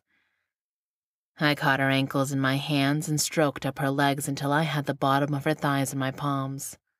Her skin was soft and supple, her curvy legs delicious looking as I lifted them and rested them on my shoulders. Allie leaned back, her elbows on the bar, eyes burning me. Her soft hair was splayed across the bar, the ends falling off the other side. The picture of her spread out before me brought out an unexpected roar from deep within me. My bear was pleased. Instead of reacting with judgment of any kind to my roar, Allie wiggled her hips under my face. Her wild and free scent was even stronger there, and I couldn't help but devour her. I buried my face in her and used my tongue to fuck her.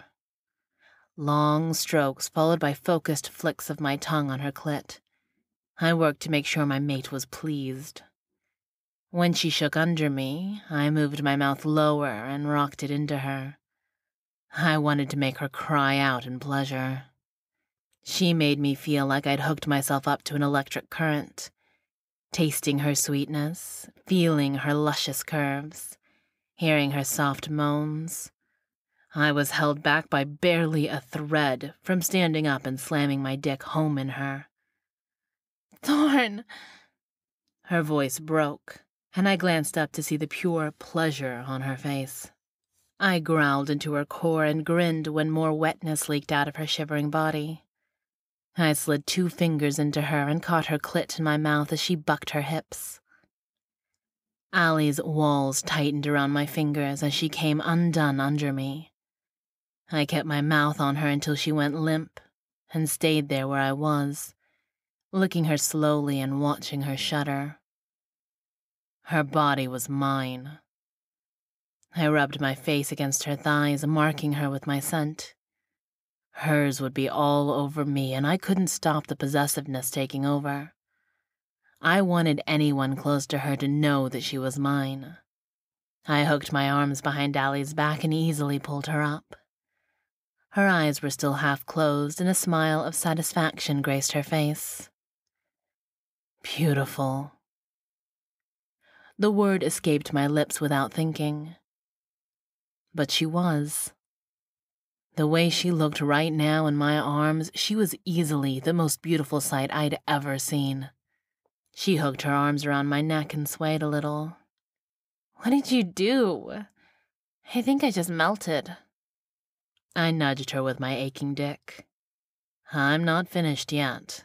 Her lips parted to say something, but a sound came from the front door of the bar, and I looked up and watched as the door started to swing open. Allie squeaked and jumped down from the workstation. I stepped back to make room for her and snatched her bra off the bar the last second. I normally wouldn't give two shits about getting caught, but this felt different with Allie.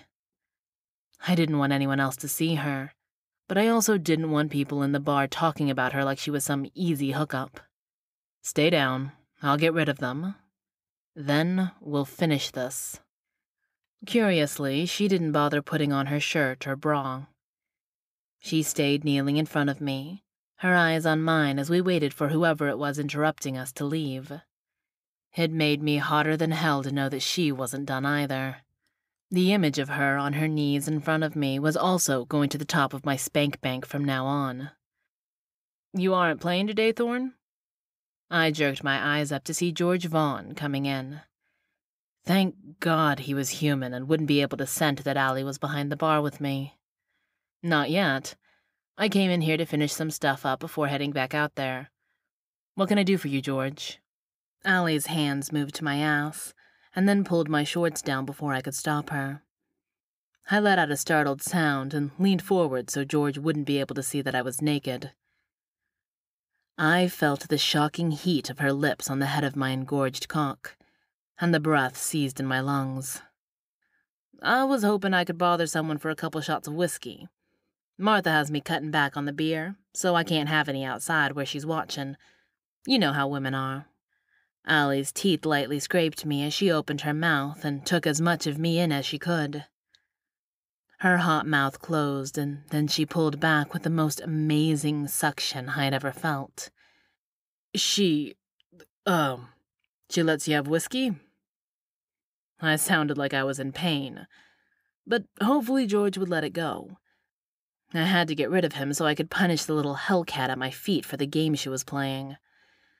No, but what she doesn't know won't hurt her, right? He laughed. I didn't see a problem with the beer. It's not like I'm drinking all day long or anything. I lost track of what the older man was saying as Allie cupped my balls and surprised me by taking my full length down her throat. She sucked in long, hard strokes before licking just the head like it was her favorite lollipop. I was close to losing it. George had to get the hell out.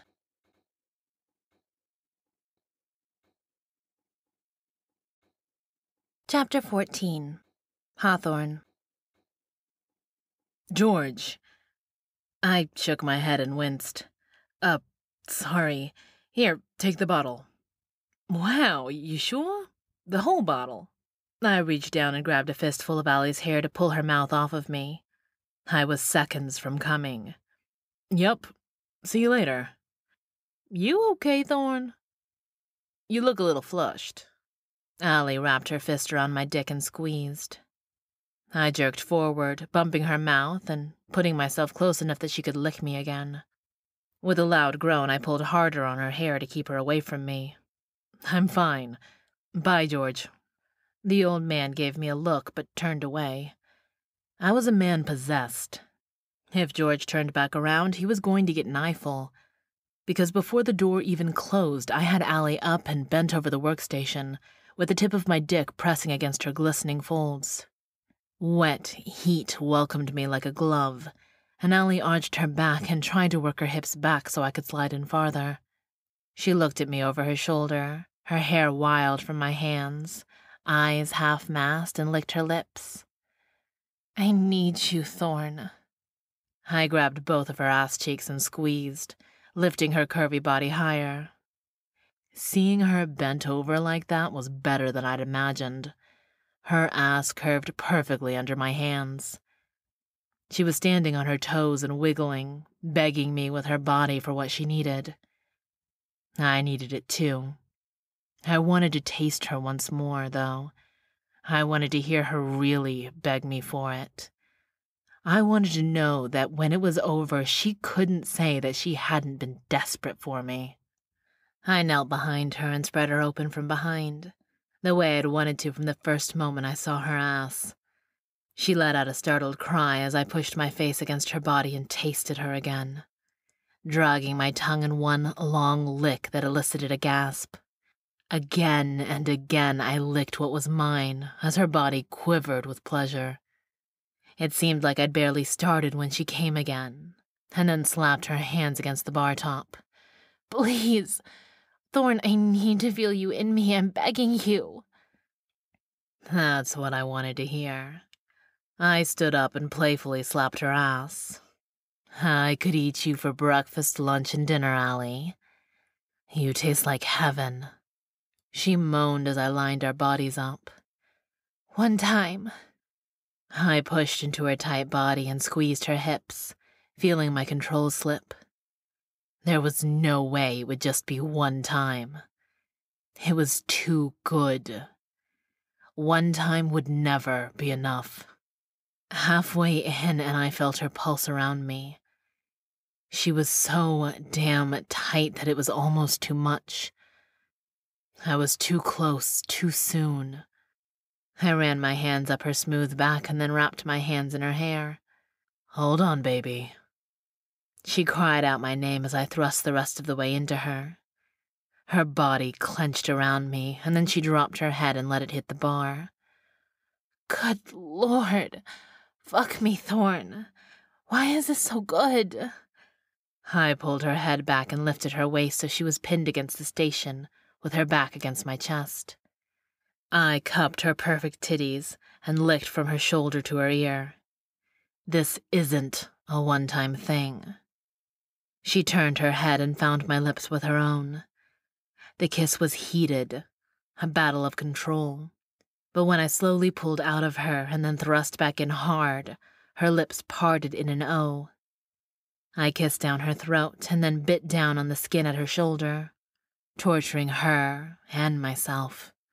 My bear roared, demanded I mark her, but I couldn't. Not like this. Instead, I focused on where we were joined. I wanted her to feel me the next day. I lost myself in her, held her against my chest, thrusting in and out of her until I felt my body tightening.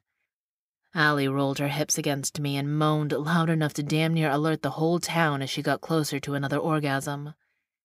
She held my arms where they latched around her and dug her nails in my skin as my thrusting grew erratic. Oh, God, Thorn! I lowered my hand and circled her clit with the pad of my fingers as I teetered on the edge. I wanted her to come with me.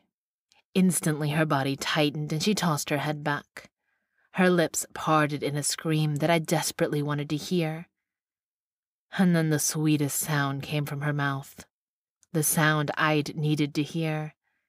My name on her lips, broken from pleasure, screamed loud enough for someone to hear all the way in Dallas. She was mine. I came harder than I'd ever come in my life, pulsing jets of my seed filling her as I held her, while we both gasped for air. It didn't feel like it'd ever stop. Even when I could breathe evenly again, the pull to her, the pleasure, the awareness was overwhelming. I let go of her hair and ran my hand down her back, enjoying the tremors that made her body clench. More than one time. She looked back at me with the sexiest expression of complete satisfaction. You don't like boundaries, do you? I laughed and stroked my hand over her ass. Not even a little bit. Not with you, especially. Too bad. It was still a one time thing. She reached back and gently pushed me away. I slid out of her painfully slowly, dragging out another moan from both of us. I was amazingly still hard and could go again if she wasn't determined to keep me away. How about we. Oh, God! Allie turned to face me, shock and horror frozen all over her face. We didn't use a condom. I looked down at my bare cock, still wet from our combined fluids, and winced. It hadn't occurred to me. She was my mate. Somewhere in the middle of screwing her brains out, my mind had decided that it was okay, because she was mine. Looking at it with a clear head, I could understand where she was coming from, why she was freaking out. Oh, shit. She bent over and grabbed her shirt and bra, hastily pulling them on and moving away from me. This is why I don't do things like this. What the hell was I thinking? This was a mistake. Ouch. Mistake. Her words felt like a dagger to the heart. I jerked my pants up and moved to touch her, but she yanked away from me. She whirled around and nailed me in the face with the shirt I'd given her earlier. I'm going home. I can't do this. Home? To the trailer. Just leave me alone, Thorn. Already halfway across the bar, she muttered to herself. I'm such a fucking idiot.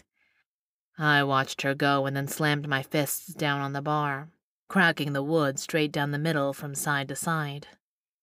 Damn it!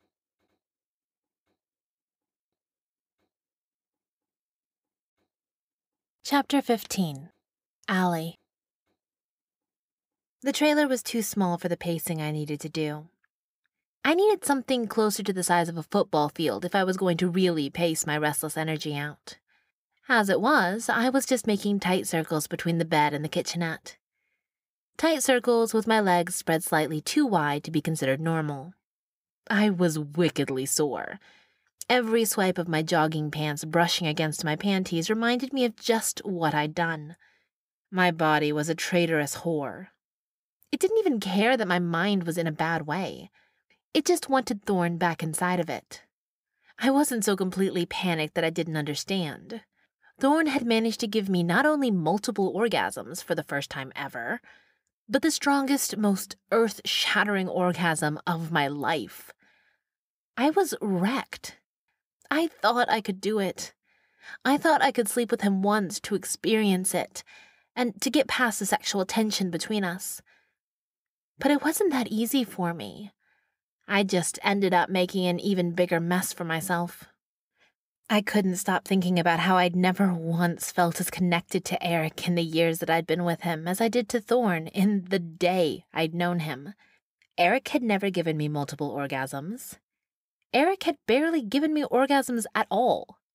It didn't make sense. I shouldn't have these kinds of feelings towards Thorn. I didn't know him. I barely talked to him. Yet there was something deep and all consuming there. Just like with Burden and the bar, I should have been freaked out by the massive sense of deja vu, but instead it was comfortable. Well, not with Thorn, but the bar and town felt comfortable.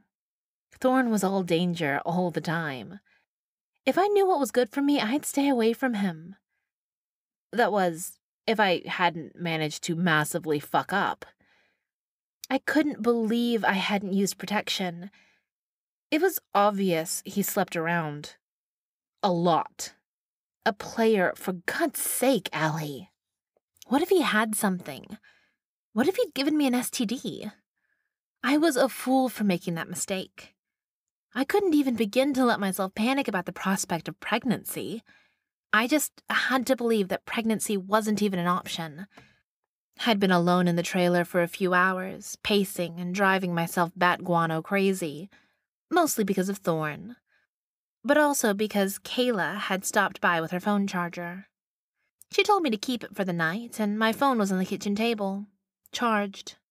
The thing was like a monster laying in wait, crouched to pounce and devour me alive.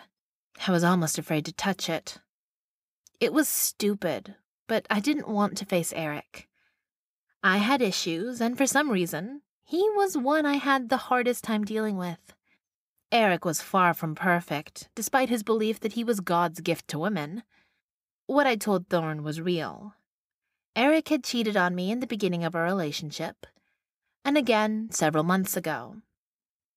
Probably a few times in between, if I were being honest with myself. Each time was a crushing blow, yet I stayed. Even though I was in pieces on the inside, I had stayed. It was normal for me, I guess, given the example I'd had. Before my parents passed, my father had been a habitual cheater, and my mother, a habitual turn the other wayer. She'd always made it work. It seemed like they loved each other. They acted happy, at least. It wasn't until I was older and looked back at my parents through different eyes I realized that Mom had spent nearly all her time locked in her room. She wasn't happy. Somehow, even knowing that and knowing that allowing a man to cheat on you was wrong, I couldn't seem to stop landing in the same situations. Every one of my serious boyfriends cheated. Even though Eric cheated, I rationalized, he still treated me pretty well and wanted to give me the world. I suppose I felt like I'd never find a guy who didn't cheat, so why not just accept the one who also wanted to take care of me? Yet, when it came down to it, I'd frozen. When facing the prospect of actually tying myself to Eric, to a man who cheated, I couldn't commit. It felt like I was tying a brick to my ankle and jumping into the ocean. Panic clawed its way up my chest until I thought I would choke to death. Right there in front of him, Apparently, some part of me was salvageable, and I knew that I didn't deserve that life, that I shouldn't commit myself to my mother's fate. Instead of facing that truth, though, I ran.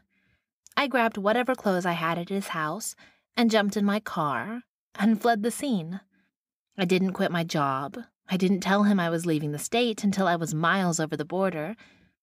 I didn't even tell my friends goodbye. I just got out of there I think a part of me thought that I was as weak as my mom, and that I'd fall into the same trap she did if I didn't run. That's why I was terrified to turn my phone on and see what was happening in Eric's world.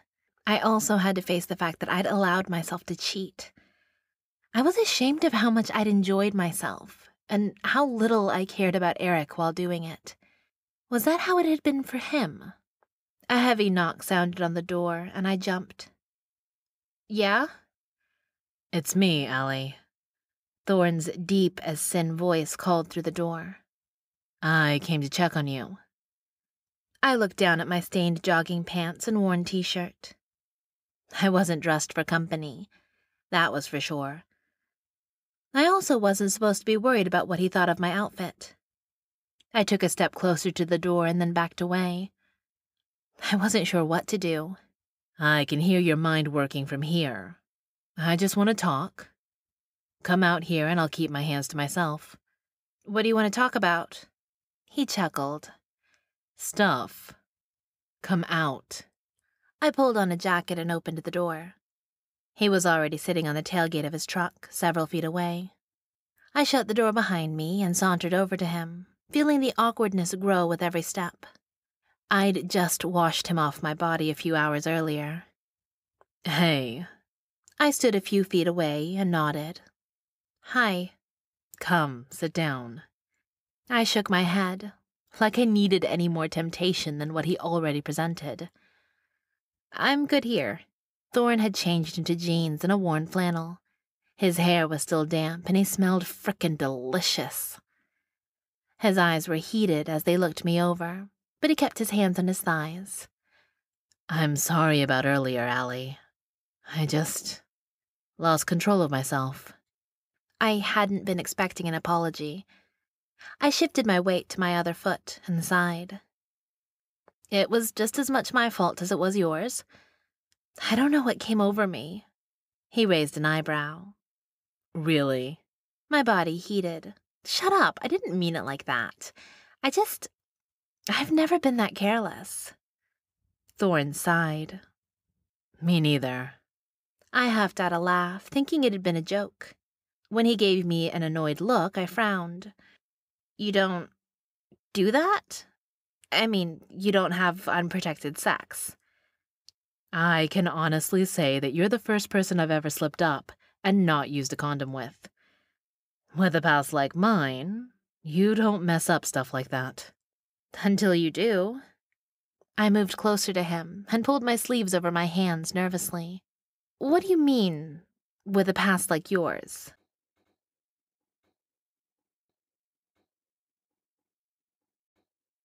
Chapter 16 Hawthorne I wanted to grab Allie and pull her into my chest. The overwhelming feeling of needing to hold her was as intense as it was new. She looked sexy as hell with her pajamas and her damp hair piled on top of her head. She'd even put on glasses at some point. Soft and welcoming, like a big green light, asking me to scoop her up and cradle her in my arms. I didn't know what to do with those feelings, though. I was still fighting the urge to run away.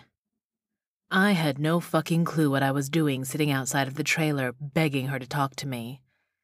I never talked to women like I was about to talk to her. I never even talked to the guys about shit like this. Hawthorne? I nodded to the tailgate and smiled. Sit with me, and I'll tell you. She stared at the spot, and then at me. No touching. Like hell. Sure. No touching. Just come up here. Fine. She climbed up and sat cross legged facing the trailer. Now talk. I swallowed. Well, to give you a little background about the town of Burden, the original families have a slightly interesting story. She pushed her glasses up on her nose as she stared. Yeah?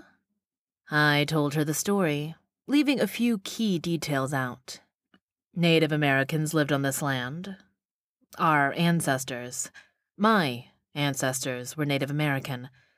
The legends say that when our gods were creating the earth, after they put all the other mountains down, they ended up around here with a handful left. So they just dropped them all in Big Bend. Then they knew that the land would be too rugged for normal people so they moved us here. I paused. The rest of the story was that they needed tougher beings than humans, and bear shifters were born. Over time, the land got easier, and our bear ancestors found human mates and settled farther north of Big Bend. I didn't think she was ready to hear that part yet, though. Our ancestors believed in soulmates. They believed that the gods made one other being on this planet just for them. It's a belief that our family has passed down from generation to generation, and it's still relevant today. She looked up at me, her eyes large and innocent on her face. Do you believe that too? God, I wanted more than anything to tell her. If I did, it would mean either one of two things. She'd think I was crazy or disgusting and hightail it out of Burden, or she'd want to settle down with me and start popping out kids. I damn sure wasn't prepared for either of those things. I was in a quandary that felt a little like quicksand. I don't know what I believe. I didn't exactly have the best example of it. My mom was a little wilder than anyone expected her to be. She wasn't smart about it and ended up getting knocked up by Tommy Graham, the town drunk. Tommy Graham, my father, Three months later, she met the man who was meant to be her soulmate. He stayed with her, even though he was repulsed by me. He hated the constant reminder of her past. Me. Despite being meant for her, he couldn't take it. Ran off in the middle of the night when I was eight. Didn't take long for Mom to go completely insane. I shook my head and grunted. Simplified it as much as I could. So, See? Unprotected sex resulted in a horrible mistake that ruined my mom's life. No, I don't make that mistake. Until I did. Allie raised up a little higher and gestured with her hands. That's bullshit. I frowned. What? It's bullshit. Unprotected sex got your mom a baby boy, not a mistake. I'm sure you were a beautiful baby, too. Just Look at you. Her cheeks reddened, but she continued. A weak man who couldn't accept that his lady wasn't innocent as a baby lamb when she came into his bedroom ruined your mom's life. No good man would have turned his back on the love of his life because she had a child with another man. You feel strongly about that, huh? Yes. Obviously, unprotected sex isn't always a mistake. She said it and then paused. Her face flamed even brighter, and she waved her hands around. That's not what I meant. I don't mean us. We definitely shouldn't have had unprotected sex. We should be more careful. Should have been more careful. I laughed. She blew out a rough breath. That was a train wreck. What I meant is that I don't think you were a horrible mistake. You were meant to be here. Thank you. I tugged lightly at a strand of hair she'd missed and smiled at her. So, what about your parents? Got any legends or prophecies? Um, only if you count the fact that I'm destined to end up with someone who cheats on me. Allie crossed her arms and rolled her eyes. Dad was a cheater. A big one. Everyone in town knew about it. Mom knew. I knew. She pretended to be happy, though. He'd come waltzing in at seven in the morning, smelling like liquor and cheap perfume, and she'd smile and ask him if he'd like his eggs fried or scrambled. Every day. I felt an ache in my chest. What'd he say? Scrambled. Every time. So you grew up thinking it was normal for a man to be a cheating pig? Yeah. By the time I realized Mom had, in fact, been miserable all those years, and my parents didn't have the perfect marriage, it was too late. I was already entrenched in a pattern of finding men who don't care enough to be faithful. And Mom and Dad were gone. She tilted her head back and looked up at the stars. They died in a car accident. The officer who worked the scene said that Dad lost control of the car and hit a truck head on. Later on, I found that they'd been fighting at a bar. She'd shown up and confronted him. He drank too much and heading home, swerved into the truck. The one time she tried to fight for herself, she ended up in a body bag on the side of the road, stretched out somewhere between Joe's Tavern and the local Tasty Freeze. What a way to go. She abruptly stood up and paced a little circle in front of me. Where's your mom? You said she went insane? But what happened then? I sucked in a harsh breath, realizing that I'd stopped breathing while she spoke. Gone. And your dad? Died somewhere in California, passed out in a puddle of his own vomit. When she looked at me again, there were tears in her eyes. How do you know when someone's your soulmate, Thorn? Is there some kind of sign? Allie. How do you know, Thorn? There's supposedly a magic to it. Although some call it instinct, chemistry, whatever an undeniable attraction and need for the other person. You're just supposed to know. I spit the words out and held her wide eyed gaze. Allie stood frozen in front of me. Her eyes narrowed. I could see the wheels turning in her head, and I was terrified of the conclusion she was coming to. A flash of pain washed over her face, momentarily contorting her features. And then she took a step back. I see, she mumbled. I'm going to head to bed. I'll see you later, Thorn. I stood up. Wait, Allie. She didn't, though. She hurried inside, and the sound of the lock turning after she shut the door was deafening. My bear demanded that I chase her down and let her know that we weren't rejecting her. I couldn't, though. I wouldn't go after her. I wouldn't let this happen.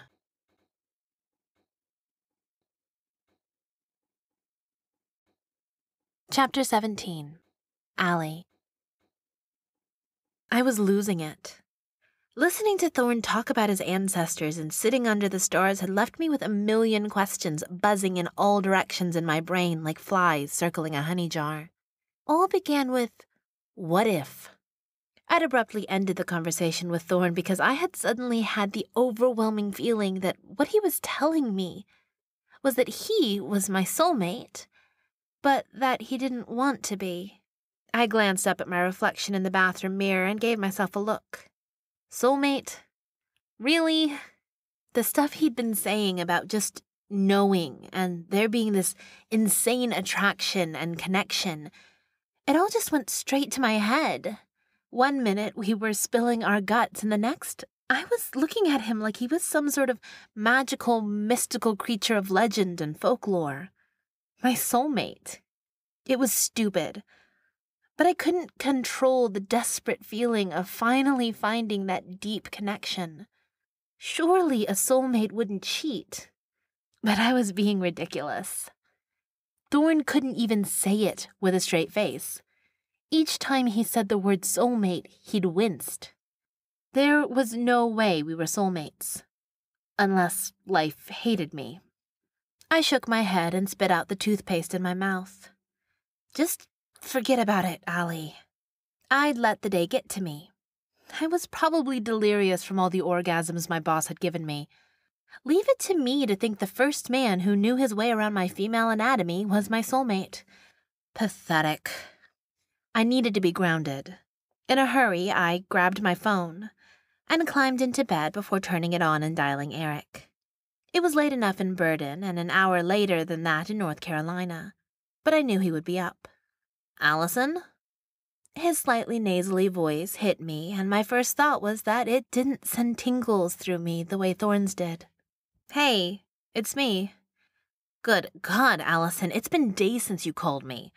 What the hell is going on? I've been worried sick. I traced the outline of the ceiling with my eyes and frowned. My phone died, and I didn't have the charger. I'm sorry I worried you. I heard the sound of his whiskey glass being put on the side table as he sat up. Look, Allie, I've let you do this for long enough. You need to come home now.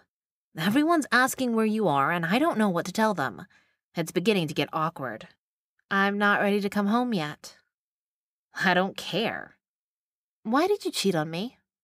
I asked the question before I even realized it had slipped out of my mouth.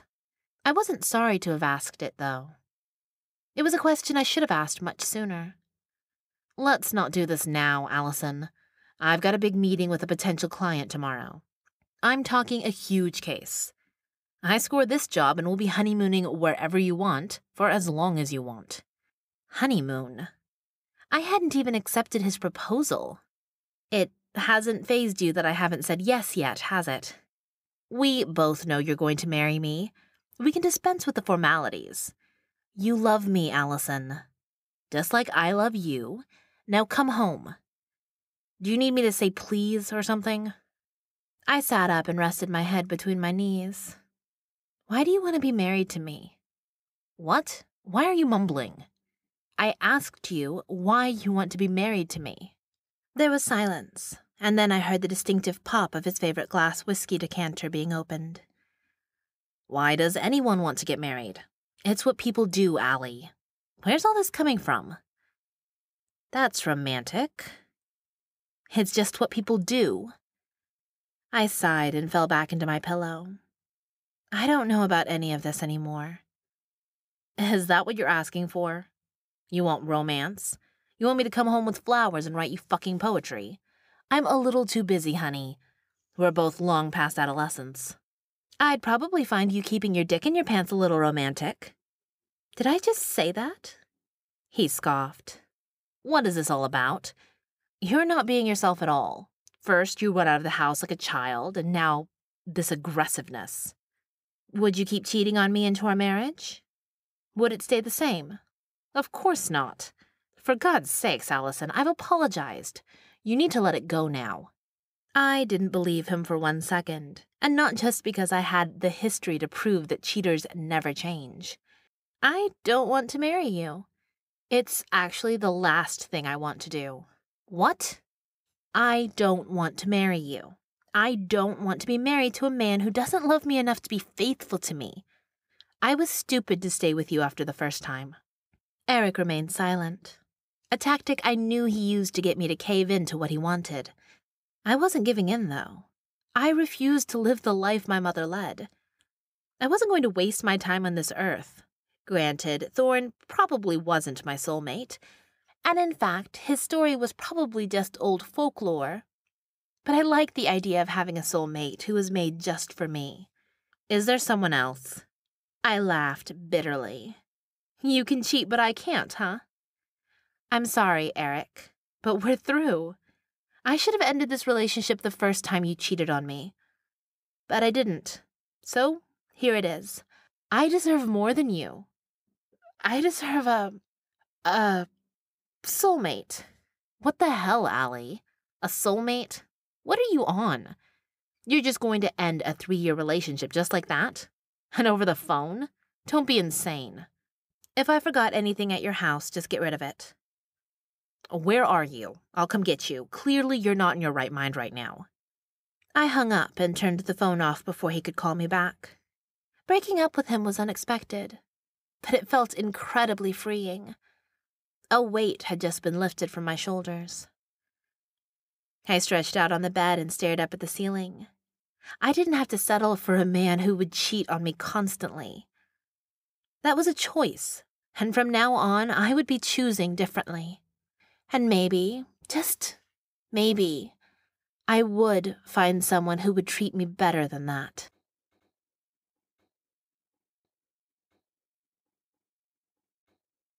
Chapter 18 Hawthorne What the fuck went down yesterday, man? The whole bar was a complete disaster last night. Hutch asked from his seat at Wyatt's mom's kitchen table. Sandra was outside tending to her small greenhouse, and that was the only reason Hutch dared to mutter the F word in her house. I looked back towards the door to make sure she was still outside and shook my head. I don't even know. Wyatt leaned in. The whole bar was so damn full of the scent of sex that Abram had to shut the place down. Nearly everyone in there was drunk as hell and trying to hump each other to kingdom come. Sterling groaned and squirmed in his chair. I think I broke my dick. I raised my eyebrows. What? I took Kyle's little sister home last night. She waited until I got my pants off and then she punched me as hard as she could in the dick. I shuddered.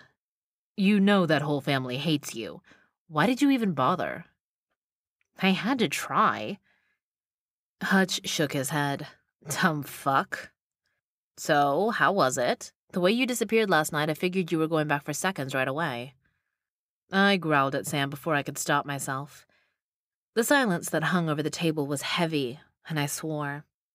They had to know. No way I could ever get defensive over a casual hookup. She's my fucking mate. Sandra swept through the kitchen with a smack to the back of my head. I don't care what she is. You curse like that again in my kitchen, Hawthorne Canton, I won't hesitate to take a switch to you. The woman practically raised me, and I winced under her glare. Sandra wasn't just Wyatt's mother, she was a mother to all of us. Yes, ma'am. Hutch said it first, though. Wyatt snorted a laugh, and it wasn't long before all hell broke loose. Sandra chased us out of her kitchen with her broom, and we shifted and headed into the woods together, like we normally did after breakfast. We ran and shoved into each other, playing the same way we had since we were children. We'd been together for as long as any of us could remember, and our bears reacted to each other like brothers. When we'd worn ourselves out, we shifted back and dove into the lake at the back of Sandra's property. The water was ice cold and just what I needed to cool off. Your mate, huh? Wyatt said it with a smirk that made me want to strangle him. Don't say anything. I know it wasn't what any of us have ever dreamed of, settling down with one woman, but. Fuck. My bear itches to be near her, and she's not bad. Wyatt rolled his eyes. Not bad. Man, you've got to up your game with the compliments if you expect to keep her. She's already engaged, plus, I'm not trying to keep her around. I'm not the settling down type. You know my history. I'll just fuck it up.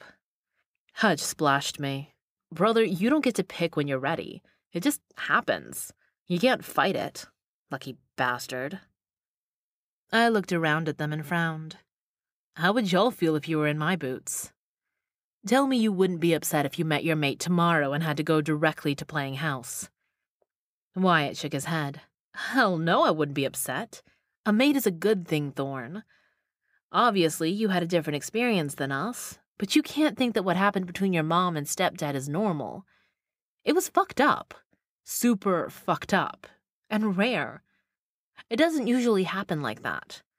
You have as much chance as any other shifter to have a perfect mating. I swam a few feet away, feeling uncomfortable with the topic.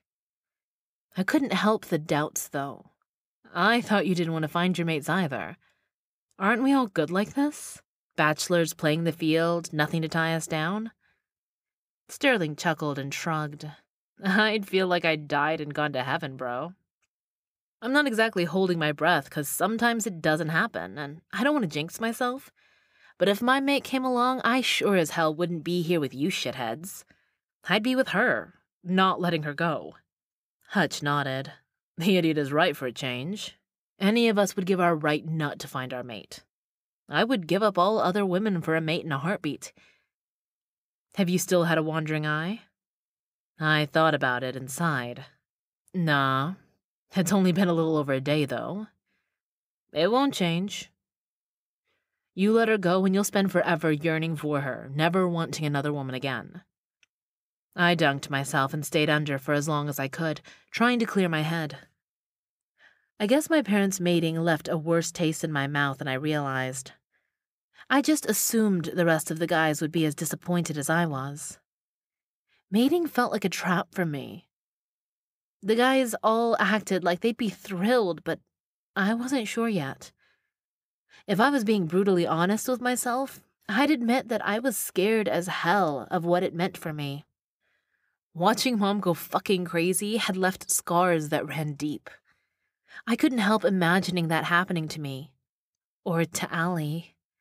When I came back up to the surface, the guys were all swimming back to shore. Hutch looked over at me and sighed. Don't fuck it up, man.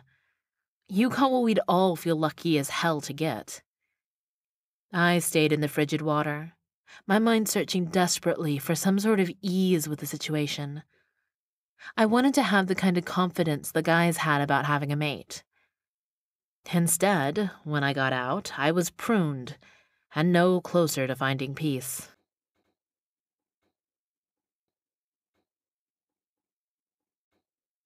Chapter 19 Allie Thorn wasn't in the bar that night. His friends were all there, at their table, but when I brought a tray of drinks, no one mentioned him. They were acting pretty weird, too. Not even Sterling, who was the biggest flirt of the bunch, tried anything with me.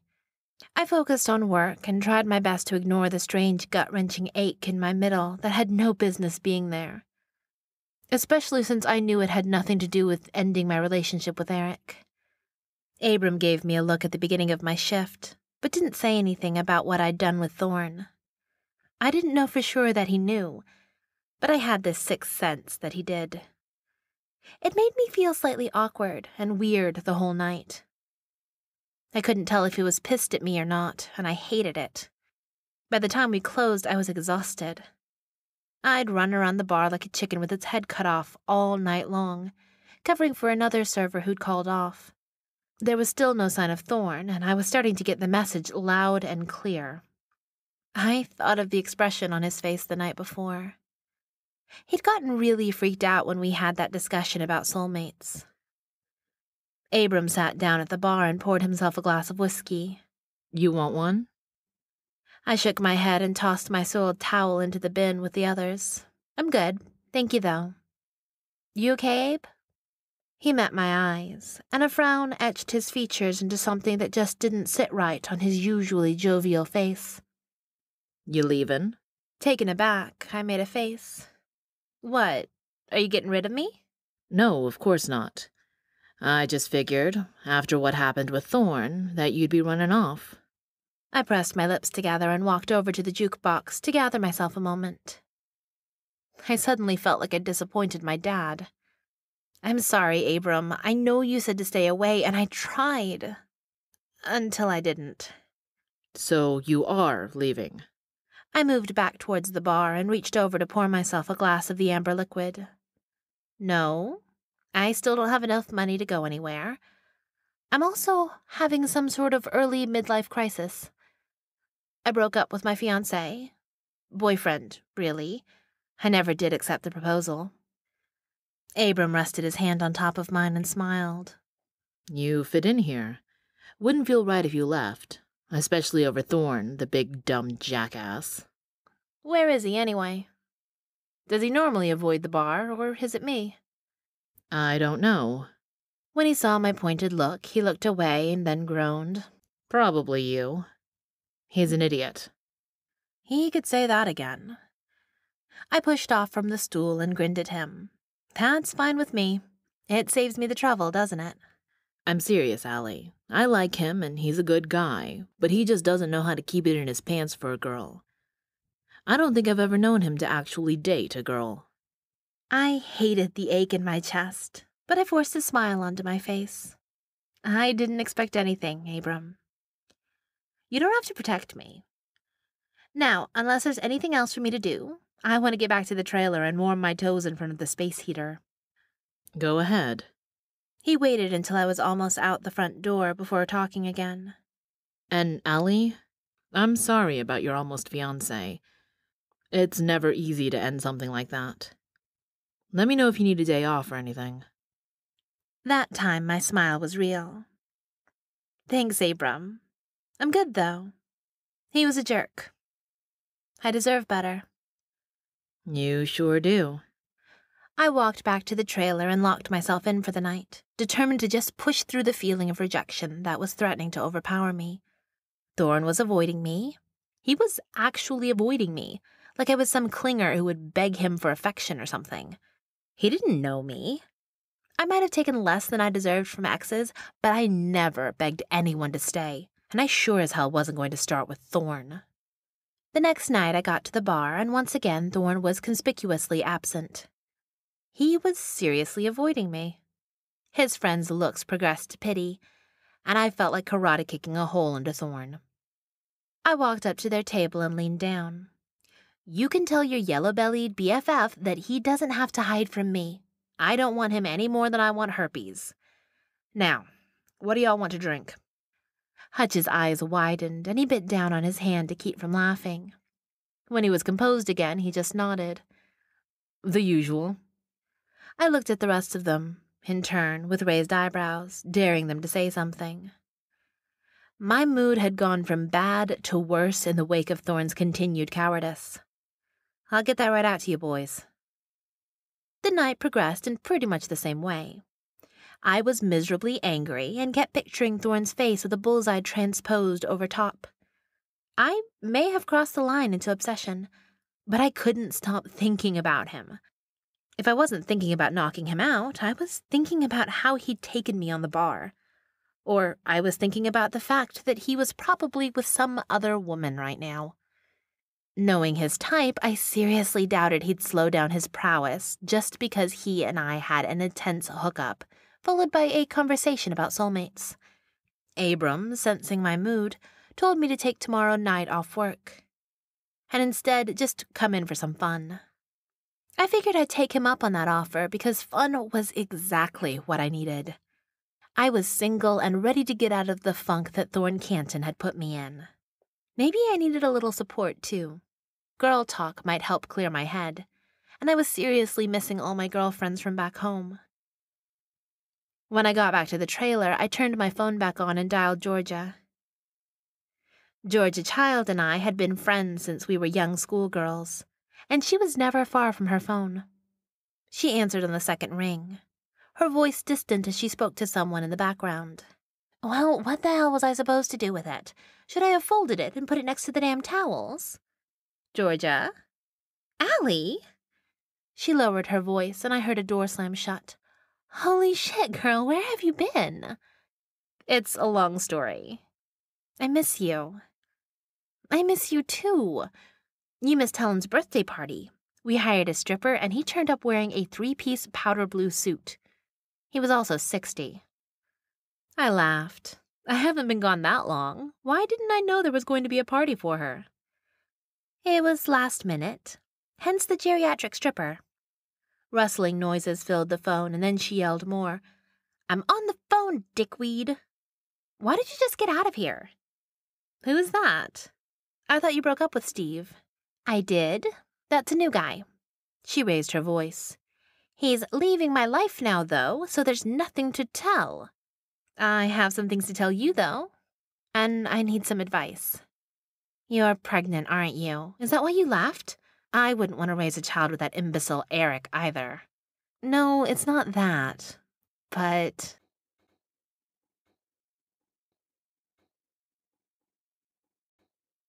Chapter 20 Hawthorne.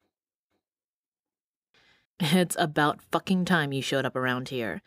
This isn't my bar, you overgrown cub. It's yours. You can't skip out on things for two days in a row because you're hiding from Allie. You're a grown man, Thorn. You sleep with someone, you man up and deal with it. I would have thought you'd be used to it by now in a town this size. My heart sped up and my palms grew sweaty. Sure as hell didn't feel like a grown man. Is she here? He slammed a beer down, not paying any attention to the man who'd ordered it, as it sloshed over the side and soaked the bar napkin. I gave her the night off. I looked around the bar. It was still early. There weren't many patrons yet. It would pick up soon, and then I'd be surrounded by smells and sounds. Maybe then I'd be able to get her scent out of my head. It was everywhere. I didn't just smell her behind the bar either. I could still smell her arousal if I breathed in deep, and my bear was going nuts. I had locked myself away for the past two days in hopes of getting control of myself and over my bear. I'd somehow managed to go from zero to I can't live without you over a woman I barely even knew. It didn't seem smart or safe. Safe. What a fucking four letter word. I was the guy who never worried about anything. I went out on a limb all the time. I took chances. Yet, when it came to Allie, I was a shitless coward. Would I ever be safe again? I hadn't even shifted the whole time I was hiding, afraid that my bear would take over and run right to her. Jesus, I'd lost my balls since she walked into town. No one else got it either. To them, I was just being a fool. They talked about how they wouldn't miss a single second with their mate but they didn't get it. They hadn't gone through the things I had, or seen what I'd seen. I had every right to want to protect myself from Mama's fate. None of that made Abram talking to me like I was a fucking kid feel any better, though. I snarled at him and grabbed the beer he'd just opened before stomping off to my table. I was in a rare mood. I wanted to fight. I wanted to find someone who was willing to challenge me, and I wanted to make them bleed. Hell, I wanted to rip their fucking head off. That was, if Allie stayed away. It'd be a shame to be in the middle of a fight and then go into scared kitty cat mode because she was headed my way. If it was even possible, I swore I could feel her anger like a tangible thing, and it brought me to my knees. The bond between us had already grown that strong. I groaned and sank into my favorite chair. My back and legs were stiff from working out nearly all day long for two days. I'd thought that maybe a good workout would burn some of the excess energy off, but instead I was just stiff and still eager to run to Allie. A few minutes later, Hutch and Sterling showed up. Half an hour after that, Sam and Wyatt joined us. We tossed back a few beers and then moved on to whiskey as the place filled up. At least you're out of hiding, Thorn. We've missed seeing you in here. Hutch slapped the back of Sam's head. Really? We've missed him? For a bear, you sure are a. Trouble. Kyle just walked in with his cute as hell little sister. Sterling said with an easy grin on his face. But I could feel the tension rolling off him in waves. I felt my body readying itself for a fight and shrugged. He wants to brawl. He knows where to find us. I, for one, am fucking ready. Sterling swore. And it just keeps on coming. Red alert, boys. Allie just walked in and she's looking to start her own fight, it seems. I breathed in and her scent hit me like a brick to the face. Freedom, sunshine, and wildflowers. I felt her eyes land on my back, and then her smell grew stronger. She was coming my way. Hutch grimaced and sat back in his chair. Here it comes. Fuck your life, brother. Sam pushed back from the chair just in case he needed a quick exit. Chicken shit. Allie stopped next to me, and when I looked up, there was a smile curling her painted red lips. It didn't reach her smoky eyes, though, and I could feel the anger emanating from her. It's good to see you back at work, boss. I hope whatever you had isn't contagious. Before I could reply to her, she tilted her head, made a face at me like she smelled something she didn't like, and then turned and headed across the room. With ease, she sat down at a table of women who greeted her fondly. I recognized at least a few of my past hookups. Wyatt whistled. Damn, she's hot as hell when she's mad. That little dress ain't half bad to look at either. Before I knew what I was doing, I had the collar of his shirt bunched in my hands and I was growling in his face. I could feel my jaw starting to elongate with the shift, but I couldn't stop it right away. My bear was furious that he'd looked at our mate, and I couldn't say that I wasn't just as pissed. Keep your eyes to yourself, brother. Wyatt grinned. See, look at that. You react to me just like a mate would. How about you react like a mate would to her? I jerked back into my own seat and scowled. Not a funny trick, Wyatt. My bear wanted to rip your head off. He shrugged. I could take your bear any day. My skin bristled and I squeezed my eyes shut. Stop fucking challenging me, Wyatt. What are you going to do about it? Hide some more? I knew what he was doing. He was pushing me to act, but I wasn't going to. I bit my tongue hard enough to draw blood and I leaned back in my chair, trying to appear relaxed. Go bother someone else. Sterling sat forward in his chair and laughed. She isn't taking any prisoners tonight, boys. Hot damn. I looked over and watched as Allie tossed down a couple of shots back to back.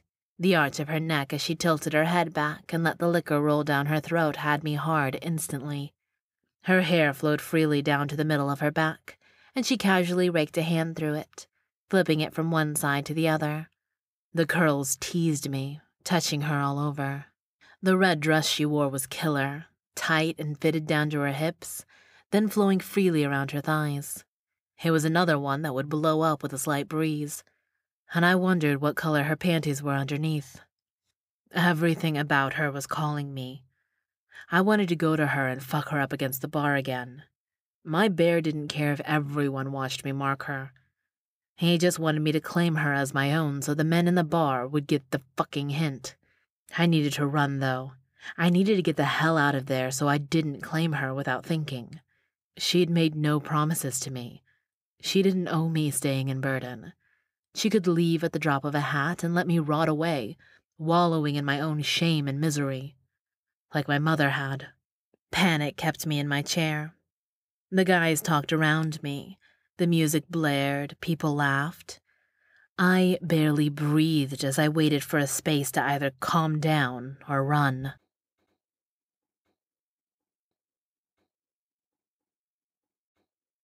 Chapter 21 Allie I'd kept myself busy all day. After talking to Georgie for hours the night before, I woke up with a newfound determination to piss Thorn off. I went to the one and only salon in town and was able to get an appointment right away. I had my hair styled and then had them do my makeup. I still hadn't gotten around to purchasing any cosmetics, so it was different to be wearing it again. I felt sexy and confident. I clicked with the women there, and with a little prompting, very little, a few of us made plans to have a girls' night out. The cave, of course, was the only place in town, so ta da! Here we were, drinks in hand. Turned out they were a little wild, and I loved it. I could feel Thorn across the room itching to leave. I had to give him something to look at before he could slide out and make his escape. I turned to Randy, the bubbly blonde next to me who'd styled my hair. I'm going to dance. Not before you do a couple shots, you're not. Shots magically appeared, delivered by Kayla with a wink. Tip it back, pretty lady. I did as suggested, and was met with a warmth taking over my body and cheers from all the women around me. I slammed the shot glass back on the table and stood up. It's time. Samantha, the blonde I'd saved Thorn from my first night, bumped hips with me. Tear up that dance floor. Very aware of the table across the room, the one with the large, angry looking boss man, I slunk onto the dance floor and positioned myself where he could see me. Before I could even scan the male heavy dance floor for a partner, a tall cowboy shimmied into the space in front of me and smiled. Mind if I have this dance? I smiled back at him and shook my head. It'd be my pleasure. An old country song was playing, and the stranger wasted no time in slipping his arms around me and swaying us to the music. He smelled nice, and he didn't stomp on my toes, so win win in my book. When he spun me out, then curled me back into his side, I got the feeling he was going to kiss me, so I quickly spun myself back out and grinned. I wanted to infuriate Thorn, but I couldn't imagine my lips touching the stranger. Something about the thought repulsed me to my very core. I didn't understand it, because he was a good looking man, but my body would have none of him.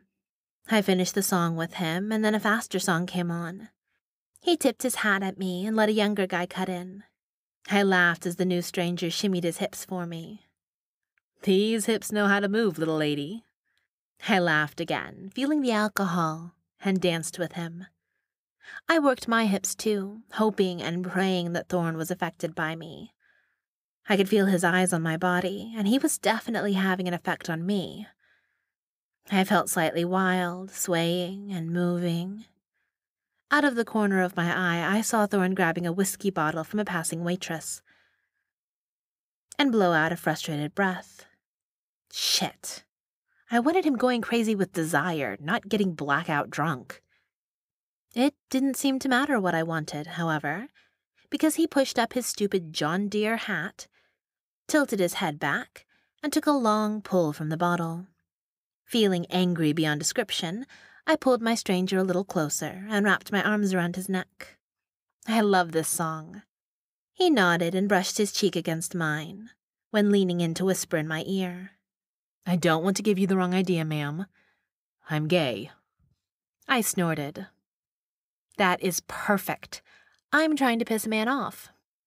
You against helping out? He tugged me even closer and pressed his lips to my neck. No, ma'am. Wait, is he big enough to kick my ass? I winced and nodded. Yeah, he's really big. A careless shrug later, and he captured my lips in a kiss that probably looked a lot hotter than it felt. When he pulled back, he pulled a card out of his pocket and made a show of slipping it into the cleavage of my dress. If a straight man would have done it, I would have knocked his block off. My name's Logan. That's my number. I'm going to head out so I don't get smashed by whatever Hulk you're trying to piss off. Call me if you ever need another beard or just drinks. I'm up for whatever. I let him kiss me again, and then he slipped through the crowd, away from me. I couldn't help the silly grin on my face. I knew Thorn had watched the kiss. It was like I had a direct wavelength to Thorn's emotions. They were volatile for sure. I danced by myself for a bit, winding my hips around and arching my back, in a move I'd practiced as soon as I'd gotten my curves in when I was just hitting puberty. Samantha joined me with more shots, and I was hard pressed to find a reason not to drink them. The combined effects of all the drinks were starting to hit me hard when I sensed Thorn move. I knew he was headed my way, so I distanced myself from Samantha and the others. When he finally got through the crowd to me, he felt twice as big as normal. His eyes flashed, and his smell seemed even more dangerous. It hit me from ten feet away, despite there being at least five other guys between us. My heart sped up as I met his eyes, and my back hit the wall behind me. Thorn didn't stop coming until he was towering over me, and I had to tip my head back to keep the eye contact. What do you think you're doing? The growl in his voice was like a tongue stroking my most private parts. I crossed my ankles and squeezed my thighs together. I'm having a good time. What does it look like I'm doing? His eyes fluttered down to my legs and then back to my face. I watched as he took a deep breath in and then growled. He put his hands on the wall on either side of my head and narrowed his eyes at me. You're playing with fire. What would you know about fire? You're too chicken shit to get close to the heat. We both know you're going to run away again. Save me the trouble and go now, Thorn. Run, he grabbed my arms and easily lifted me as if I weighed nothing. He only stopped when he could pin me to the wall with his rock hard erection against my core. You have no idea what you're getting into. I couldn't look away from him. I didn't care if the entire bar was watching us. My body felt like it was going to explode under his touch. So tell me. He suddenly dropped me and moved away. It's better that you don't know. I bore a hole through his back with my gaze as he strode away. The way my body reacted to his, the way I just knew what he was feeling. It was crazy. But that right there was the moment I knew. Thorn was without a doubt my soulmate. A concept I hadn't even believed was real a couple of days ago, and couldn't explain in a way that didn't sound ridiculous, was now mm. something I was convinced of with my whole heart. My soulmate was either a complete asshole or a giant idiot, though. It was just my luck.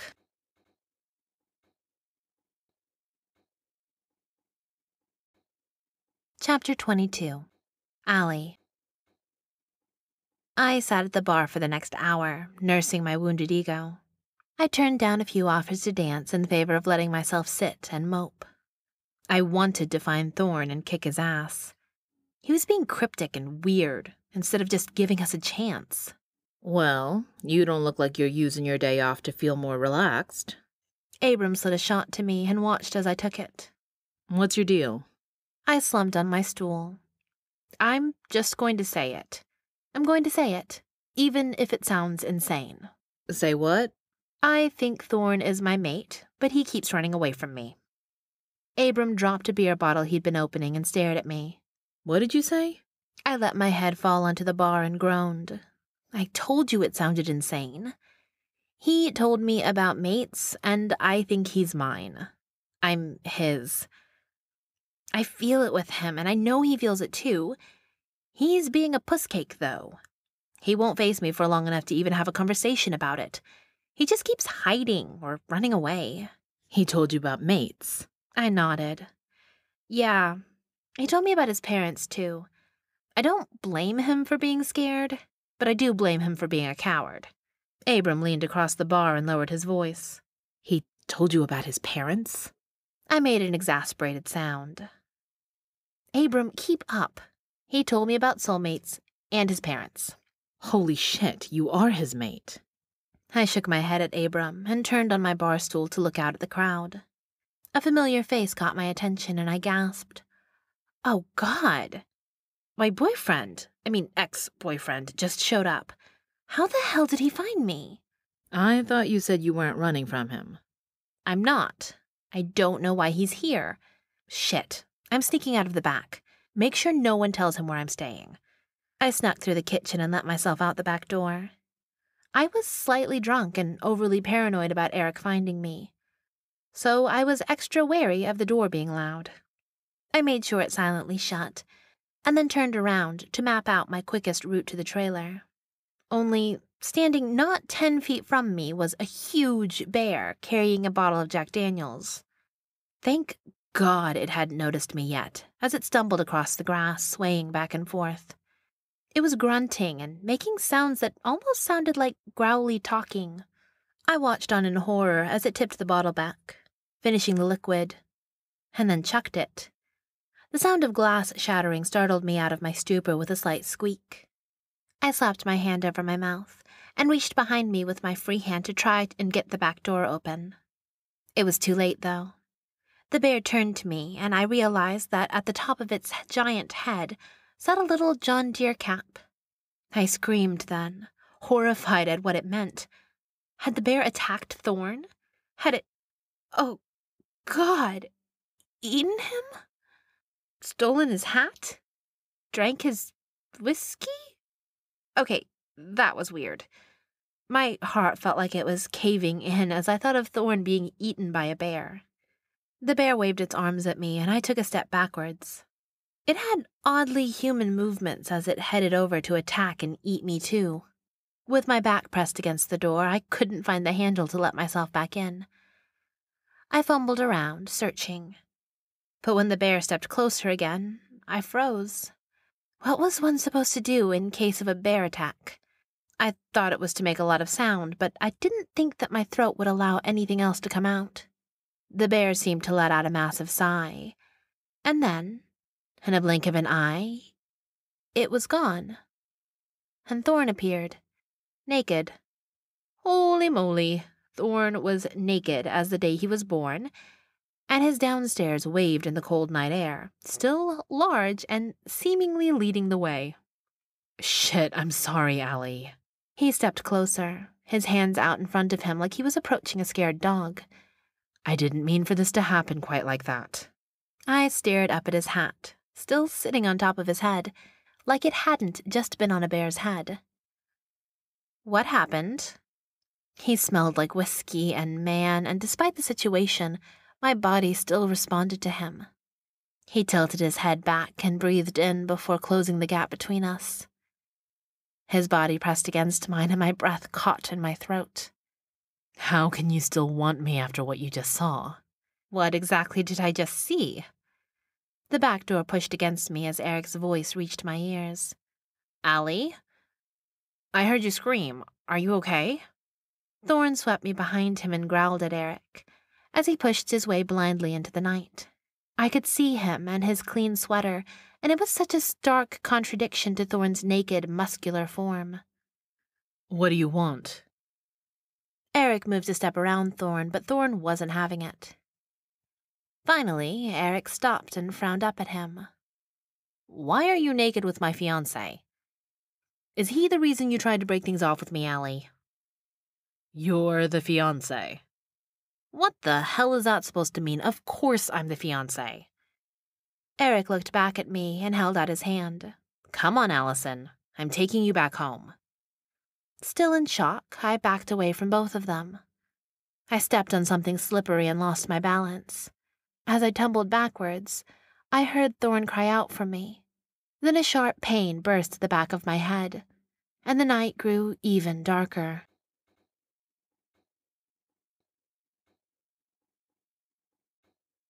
Chapter 23 Hawthorne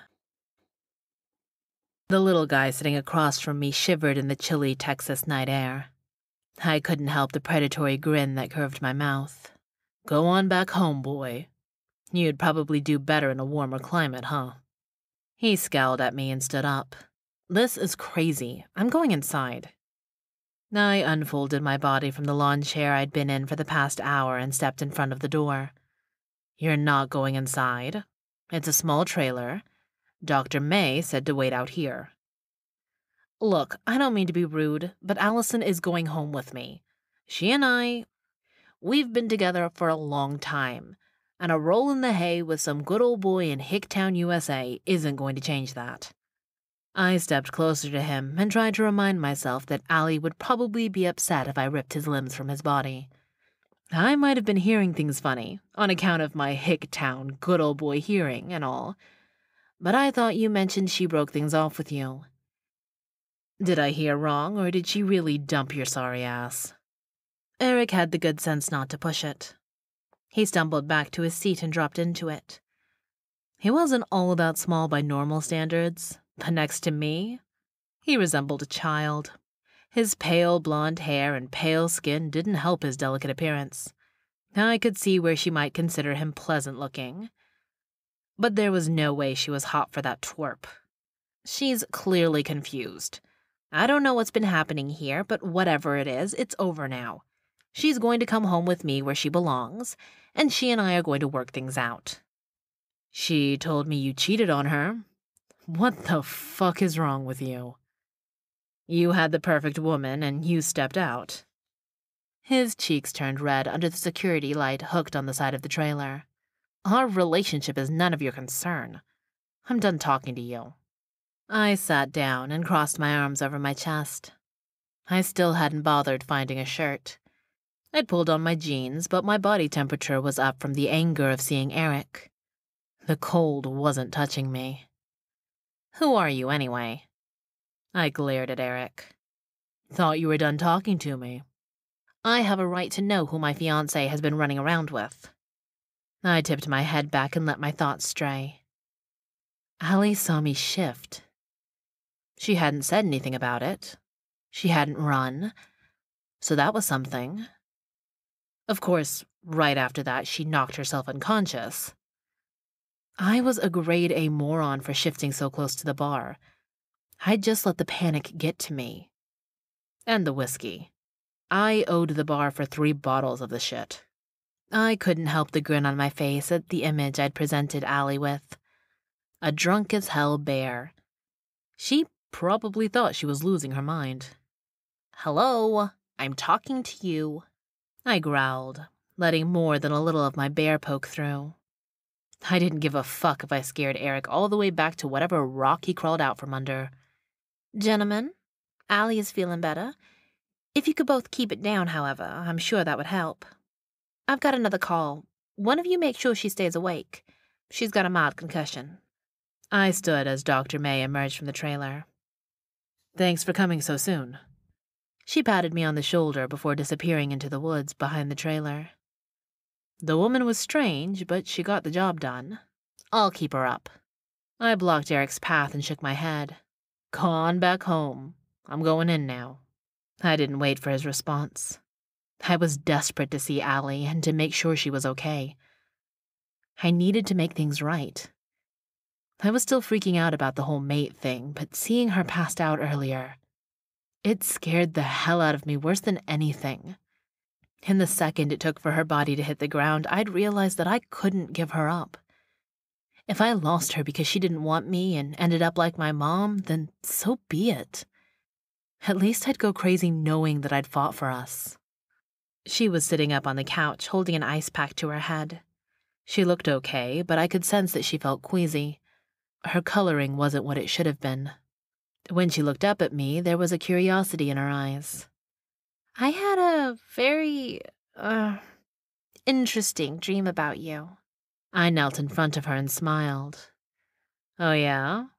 Was I clothed or unclothed? Her eyes suddenly lifted and shot to the doorway. Eric? I wanted to spin around and shove the little twerp back out of the door. Fucker couldn't take a hint. He moved to sit beside her, but a warning growl from me had him frozen in his spot. Allie's eyes shot open wide. I ignored her look for a moment, figuring she was piecing together what she'd seen. Allison, let me take you home. I saw your car on the way into town. We'll hire someone to get it back to North Carolina. I'll have all your stuff taken to my house as well. We'll put all of this behind us. Allie frowned. How did you find me? Eric at least had the decency to look embarrassed. I ran into Georgia. When she didn't ask about you, I figured she knew where you were. Jimmy leaked that she booked a flight to Texas and mentioned that she'd need a car to get down here. Jimmy is going to be so fired when Georgia finds out. She shook her head and frowned some more. That doesn't matter, though. Eric, I told you we were done, and I meant it. You cheated on me. So many times. I watched her face for signs of sorrow, ready to rip Eric's dick off if it looked like she was harboring any lingering pain from the asswipe. Instead, she looked up at me with more confusion and curiosity on her face. You forgave me for that. No, I ignored it. There's a difference. Just like I ignored the fact that you can be a really controlling jerk. This is over, Eric. I'm sorry I didn't end things sooner. I'm also sorry that you had to come all this way. I'm not leaving with you, though. If I ever decide to leave, it'll be because I'm damn good and ready. My chest tightened. Did she just say what I think she said? Was my shifter hearing playing tricks on me? You're staying? She adjusted the ice pack and sighed. I think so. Not because of you, though. You've been a jackass. I'm staying because this place feels like home for some reason. I like Abram, and I like my job at the bar. I even like that crazy blonde chick who tried to claw your eyes out the first night we met. It didn't matter to me right now the reasons why, or that she thought I was a jackass. Hell, I was a jackass. She was right about that. All that mattered was that my mate was staying. I surged forward to embrace her, but she put a hand on my chest and stopped me. We've got some talking to do first, mister. Eric did some heavy cursing and then swung around to the door. Thanks a lot, Allie. Maybe next time you'll communicate with someone if you have a problem with what they're doing, instead of just holding it inside. Hey, dumbass. Women don't like it when you cheat. Duh. I moved towards the door in case Eric needed help through it. Turns out he didn't. He was out before I reached him, so I flipped the lock before returning to Allie's side. You okay? She was staring up at me and dropped the ice pack into her lap. It wasn't a dream, was it? I sighed. I'm not sure how much you want to know right now. Maybe we should wait until your brain feels a little better. I'm not sure my brain is ever going to feel okay again. Well, here goes then.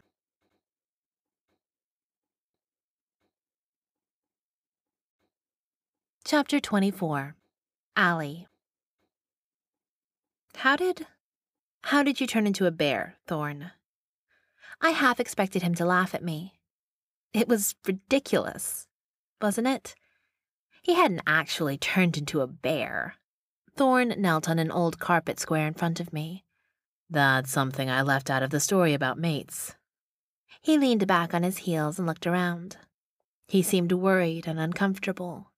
He opened his mouth several times and then closed it again before he uttered a single sound, as though he wasn't sure where to start. Just spill, Thorn. I'm a bear shifter. I mean, I can shapeshift into a bear. Bear, bear shifter. He looked up at the ceiling and groaned. I turn into a bear. I'm still me, but a bear. A shifter bear. I didn't know if it was the blow I'd taken to the head or how flustered the big man before me was, but I couldn't help the single laugh that burst from my lips. His cheeks turned red. I've never had to explain it before. I don't know how to say it. Jesus, woman, don't laugh. You're killing me here. That just turned my single laugh into a fit of giggles. I'd officially lost my mind. The bump must have jumbled things more than the doctor thought. All right, Thorn sighed. You made me do this. Before my eyes, fur started sprouting from his body, and he opened his mouth to show me his jaw growing and his teeth sharpening. I stopped laughing and slunk further into my seat. Then Thorn shook himself and he was back to normal. Bear shifter. But that's just in movies. It was his turn to laugh. It's not. There are all sorts of shifters out there. We just happen to be bears round here. We? Yeah, a lot of people in this town are shifters. There aren't a lot of other differences between normal humans and us, so it's hard to tell who's who. I swallowed. What are the differences? You mean besides the shifting into an animal thing? Shifters run hotter. We're always warm to the touch no matter what. We're usually just a little bigger, too. And we have mates. I sat up. Mates? As in soulmates? He nodded. You're mine. My chest fluttered. You think I'm your mate? Another nod. I do. We were both surprised when my hand shot out and punched him square in the face. He didn't so much as flinch, but I immediately gasped from the pain of my fist contacting his rock solid jaw. He captured my hand in his and rubbed my knuckles. Crap! That was meant to hurt him more than it did me. Have you known since day one? I knew it. I just. I didn't have a normal upbringing. My mom and stepdad, they weren't exactly the picture of the perfect mating. But that's all I had to go by. Their complete disaster. It scared the hell out of me. It still does. I don't know how to do this. Mating is serious. I don't know how to be what you deserve, Allie. What if I can't make you happy? If we mate and you decide this isn't for you, it could kill me. I pulled my hand from his and edged away. My head throbbed, but I needed some space. I moved to the other side of the couch and pulled my feet under me. Literally kill you? It's what happened to my mom. I told you she went crazy, but it wasn't much longer after her breakdown that she died. Dr. May tried to save her, but Mom lost the will to live. Without that, a doctor isn't much good. I'm sorry, Thorn. That's horrible. I paused. Wait, we haven't mated, right? He laughed suddenly, and the surprising sound filled the trailer. If he noticed the goosebumps it left on my arms and legs, he didn't comment. No, we definitely haven't made it.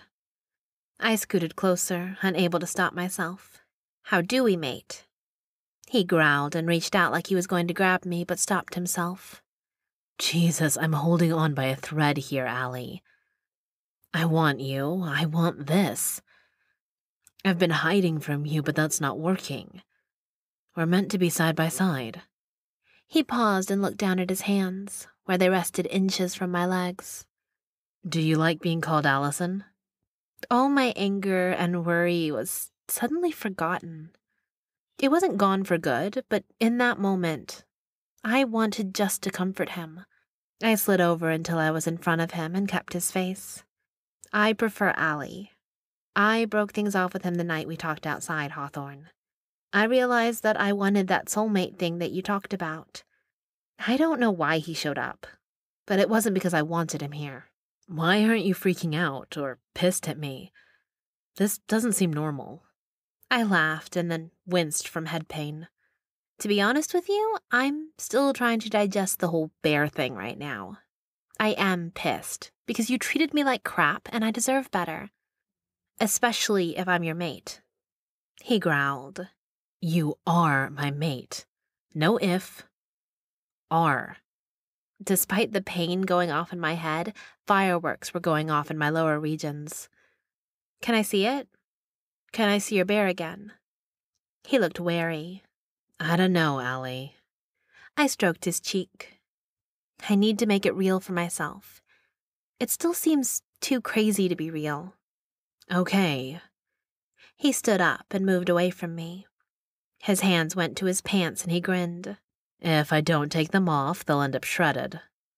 I turned my head and tried to act normally. I heard his pants hit the floor, and then the trailer dipped dangerously to one side. I squeaked and then grabbed my head when my own high pitched sound hurt it. A loud huffing and a warm gust of air hit me on the back of my neck as the trailer settled again. I looked back, knowing I would see a bear, but still surprised as hell. He was huge. I'd never seen a bear that close up before. I couldn't help standing up to get a better look. Amazingly, I felt no fear as I reached out and touched his soft fur. Do you condition? This feels so good. Another huff, and then the trailer rocked again as he went down on all fours. Even then, he was practically eye level with me. His wet nose nudged me, and I laughed. Abram didn't give me any rules about animals, but I think he assumed I wouldn't bring a bear into his trailer. You're denting the floor. He tossed his head and made a snorting sound that soothed me to my very core. Something about the bear in front of me was as familiar and relaxing as curling up with a warm blanket in front of a cozy fireplace on a cold night. I felt like I'd known the bear forever, and that I could trust it with my life. Which I guess I was doing. Knowing that this was Thorn just added to my warm feelings. He'd felt familiar since the very beginning, too. I ran my hands over its head and then scratched behind its ears. In a heartbeat, the bear was Thorn, kneeling in front of me, naked as a jaybird, with his head in my hands. I stroked my hand over his hair once more and then moved away. You're not freaking out. I sat on the couch and picked up my ice pack again. No. Maybe I'll save the freak out for later. Maybe I won't. I don't know. His naked ass sat next to me, and damned if he wasn't completely at ease with it. Does that mean we can be together? I turned my head away from him, unwilling to be distracted by all that he had on display. It means I'm going to make a serious attempt at processing all of this. You can't expect me to answer tonight, Thorn. You've been hiding from me for days. I don't know if I trust that you won't do it again. You're a bear. The whole town is full of bears. I'm trying to fit into my new Allie who won't be walked on by men persona. My head is being attacked by a sledgehammer.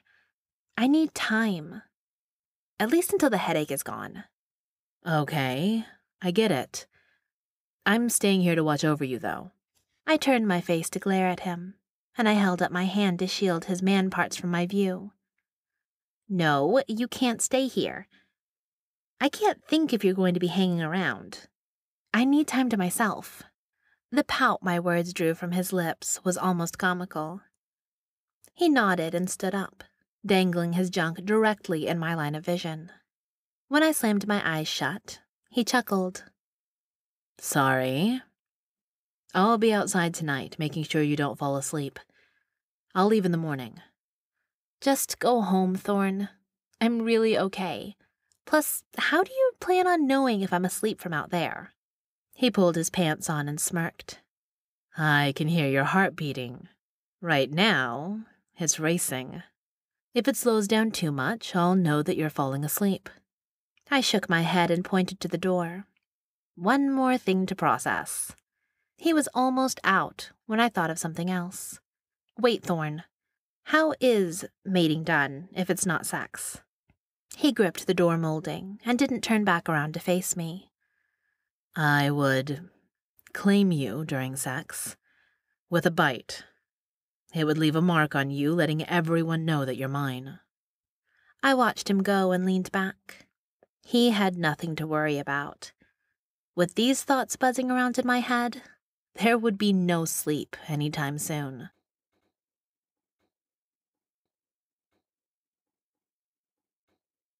Chapter 25 Allie It'd been a week since I found out about the bear population of Burden. A week of looking at the world through very different eyes. Finding out that people I'd met in Burden, people who in every other aspect appeared to be, well, people, were actually bears, too. The men, anyway. Even Abram was a shifter. Learning that they weren't what I thought wasn't as uncomfortable to me as I might have suspected. To me, they were just normal men who could also become bears. Seeing was also believing, and Thorn's friends were amazing that week. They each shifted for me and let me see their bears so I knew I wasn't just imagining everything. I'd also talked to Georgia about it for hours at a time on the phone. It went without saying that the whole shifter thing was something that needed to be kept hush hush. But I knew Georgia, the woman had never met an idea or challenge that she wasn't willing to face head on. Plus, I'd trust Georgia with my life. I knew she'd take a secret to her grave rather than betray our friendship. Georgia had been beyond surprised. She was thrilled and excited. In fact, after I told her about Thorn, and that I was planning to stay in Burden for a while, maybe indefinitely, she made immediate plans to head to Texas to visit for a short while. I'd lost all my anger at Thorn the night I found out about shifters, but I'd still kept him at a distance in the beginning of the week. I wanted to see how he was going to react to me when I wasn't being stalked by my ex and recovering from a bump to the head. I didn't really know how this whole mate thing worked. Would he still want me as badly when there wasn't any competition? I worked at night and explored Burden during the day, doing all I could to get back to feeling normal and to forget about the biting part of mating. I couldn't deny what I felt for Thorn. The strong connection was there before I even knew about mates or shifters. Since then, he'd made so many efforts to get closer to me that our connection had grown stronger. He was proving that he meant what he said about believing I was his mate. His eyes stayed on me when he was in the same room as me, and when I'd finally given in and looked at him, he'd have heat or something softer in his eyes.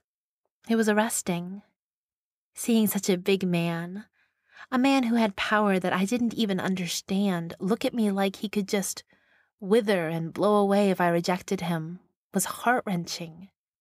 I was his. I was. It was just the biting that I couldn't seem to get past. He left flowers for me. Granted, they sometimes still had the roots attached, but I gave him credit anyway because obviously the crazy bear wasn't used to giving girls flowers. He also insisted on walking me to and from work every day. I'd turned down all his invitations for dinner at his place, though. It wasn't that I wasn't ready to get on with our relationship. I was just nervous. Abram had explained to me what a mate was to a shifter and what it meant. Mating with Thorn was a more powerful thing to do than if I went out and married him. Mating was forever while I didn't doubt my feelings for him at all, I was terrified of forever. What if he couldn't leave his womanizing ways behind? Without question, I knew if he cheated on me, it wouldn't be like it was with Eric or the others. It would destroy me. Still, I couldn't stay away from him any longer. I was feeling the absence of his touch. Like an addict, my hands shook when he was near me. It seemed impossible to fight. But I had to eventually put on my big girl panties, and tonight was the night. I was giving in, at least to sex with him. I'd made sure to dress in a tiny skirt and a tank top that dipped low. I slipped away from the bar during a lull and carried a beer to his table. Thorn was sitting in his normal seat, with Hutch, Sam, Sterling, and Wyatt beside him. I smiled at the rest of the guys and then leaned down in front of Thorn. The position gave him an eyeful of cleavage, and he didn't miss the chance to look at it. I was hoping that maybe you could show me around your place tonight. I put the beer down in front of him and stood back up. Before I could even turn away, he grabbed my arm. He easily picked me up and tossed me over his shoulder. Abram, cover for us. He shouted across the room. I felt my face burning as the bar erupted in cheers. Thorn! He slapped my ass hard enough to sting and rushed out of the bar. Say no, and I'll carry you back inside right now, Allie. I remained silent and held on as he straightened me and put me in the cab of his truck. Instead of rushing around to the driver's side, though, he captured my lips in a kiss, demanding and hot. And I moaned as he slipped his tongue into my mouth and his hands into my hair. Just as quickly, he was gone. He slammed the door closed and was getting behind the wheel in a flash. He looked at me with enough heat to light the world on fire, and then started the truck. I held my breath as he pedaled to the metal it toward his place. I'd planned on at least looking around his place for a few minutes, but his urgency told me that might have to wait. I felt the same sense of urgency. As soon as he touched me, the need had increased to a nearly painful level. I wanted him. Now. You want to be with me forever? I swore after I asked it. Why had I opened my mouth? Crazy things were bound to come out. I wasn't in control enough to make sure they didn't. Thorn swung a sharp left and then glanced at me after he straightened the truck. Yes, I want forever. Do you? You really do. He slid to a stop in front of a log cabin style house. Yes, I really do. That's what I've been trying to show you. I messed up at first. I was too scared to accept what this was. I'm nothing without you, Allie. You're my other half. I would let you go if you wanted me to, but that will never be what I want. I want to claim you and mark you as my own, so you know and so every fucker in this town knows that I would die for you. I'm in. I'm in this with everything I have. I threw myself into his arms across the console and wrapped myself around him. It was exactly what I needed to hear. I kissed him with everything I had in me, letting him know how happy he made me. Thorn pulled me out of the truck, stumbling as I made the job harder by kissing his neck and face. He grabbed my ass and lifted it, and held me to him so I could wrap my legs around him. We made it to the door and then fell to the floor in the entryway. It didn't matter to either of us. Thorn kissed my skin as he exposed it, pulling the tank top down and then ripping it over my head. His hands were everywhere, teasing me. I want you to mark me. I want to do this. I said it while gripping his hair and pulling his face up to mine. Thorn kissed me senseless and yanked my shirt up to my waist. My panties were ripped off and his pants were undone. When he pulled back, his eyes were burning bright. Forever? I tugged at his pants and nodded. Forever. Do you. He cut me off by rolling us and suddenly brushing the tip of his shaft against my slick folds. He held my gaze as he slowly pushed into me. Completely. I wrapped myself around him and buried my face in his neck, feeling entirely overwhelmed with delirious pleasure. This felt different. Knowing he was my mate and that this was going to be forever took it to a whole different intensity than the first time. I could already feel my body tensing for a release. Thorn thrust himself back and forth inside of me, slow and deep, taking me to levels I didn't know existed. He braced himself on his elbows on either side of my head. And when I tilted my head back and our eyes met, I could see that he was just as affected as I was. My world rocked. Claim me, Thorn. He nudged my head to the side and lowered his mouth to my neck. I held my breath as his tongue teased me and licked the sensitive skin. Then he kissed me there. Relax, Allie. I would never hurt you. I tilted my hips, and he hit an even deeper spot, spurring the first ripples of my orgasm. I cried out and then felt it. Hot pleasure radiated from my neck as I felt his teeth sink in. My orgasm doubled, tripled as I felt Thorn give himself to me completely. A second later, and Thorn's body spasmed as he climaxed with me. Our bodies writhed together until we were both wiped out, exhausting everything in our mating. We were tangled together, our clothes pushed and pulled in ways that made it hard to move, but everything was perfect. I'd never felt so at peace as I did in that moment. I kept my body wrapped around Thorn's, even as he rolled to his side to hold me. I kept my body wrapped around his, even as I drifted into a blissful sleep.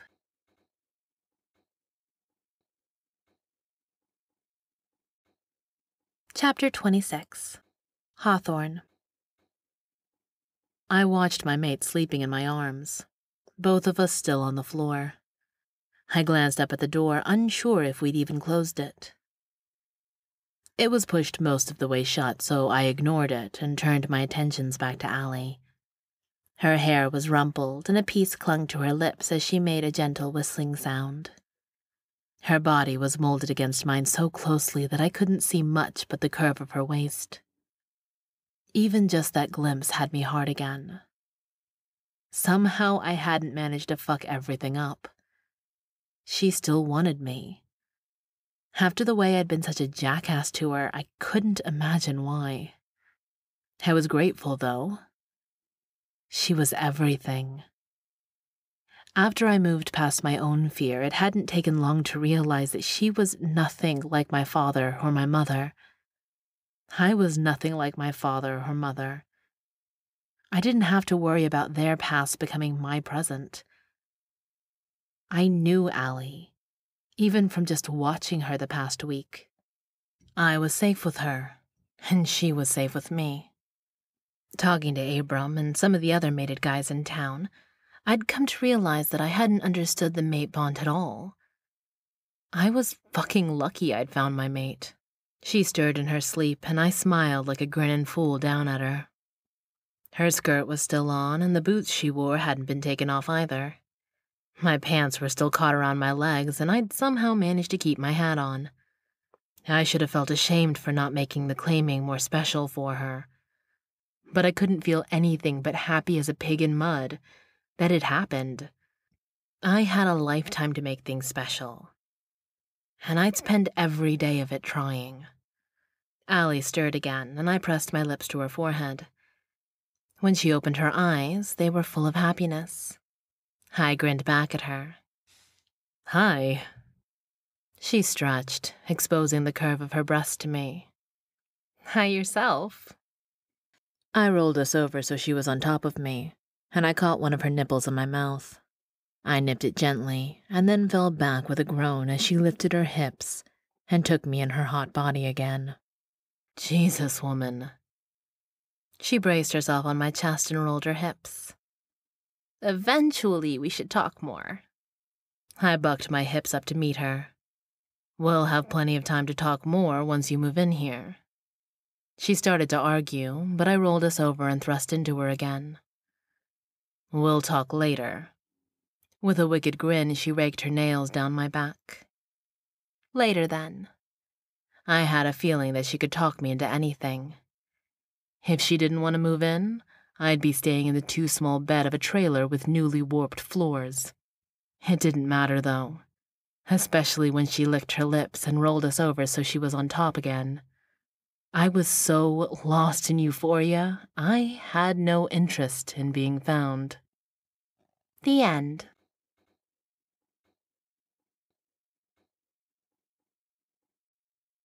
This has been Thorn, Bears of Burden, Book 1.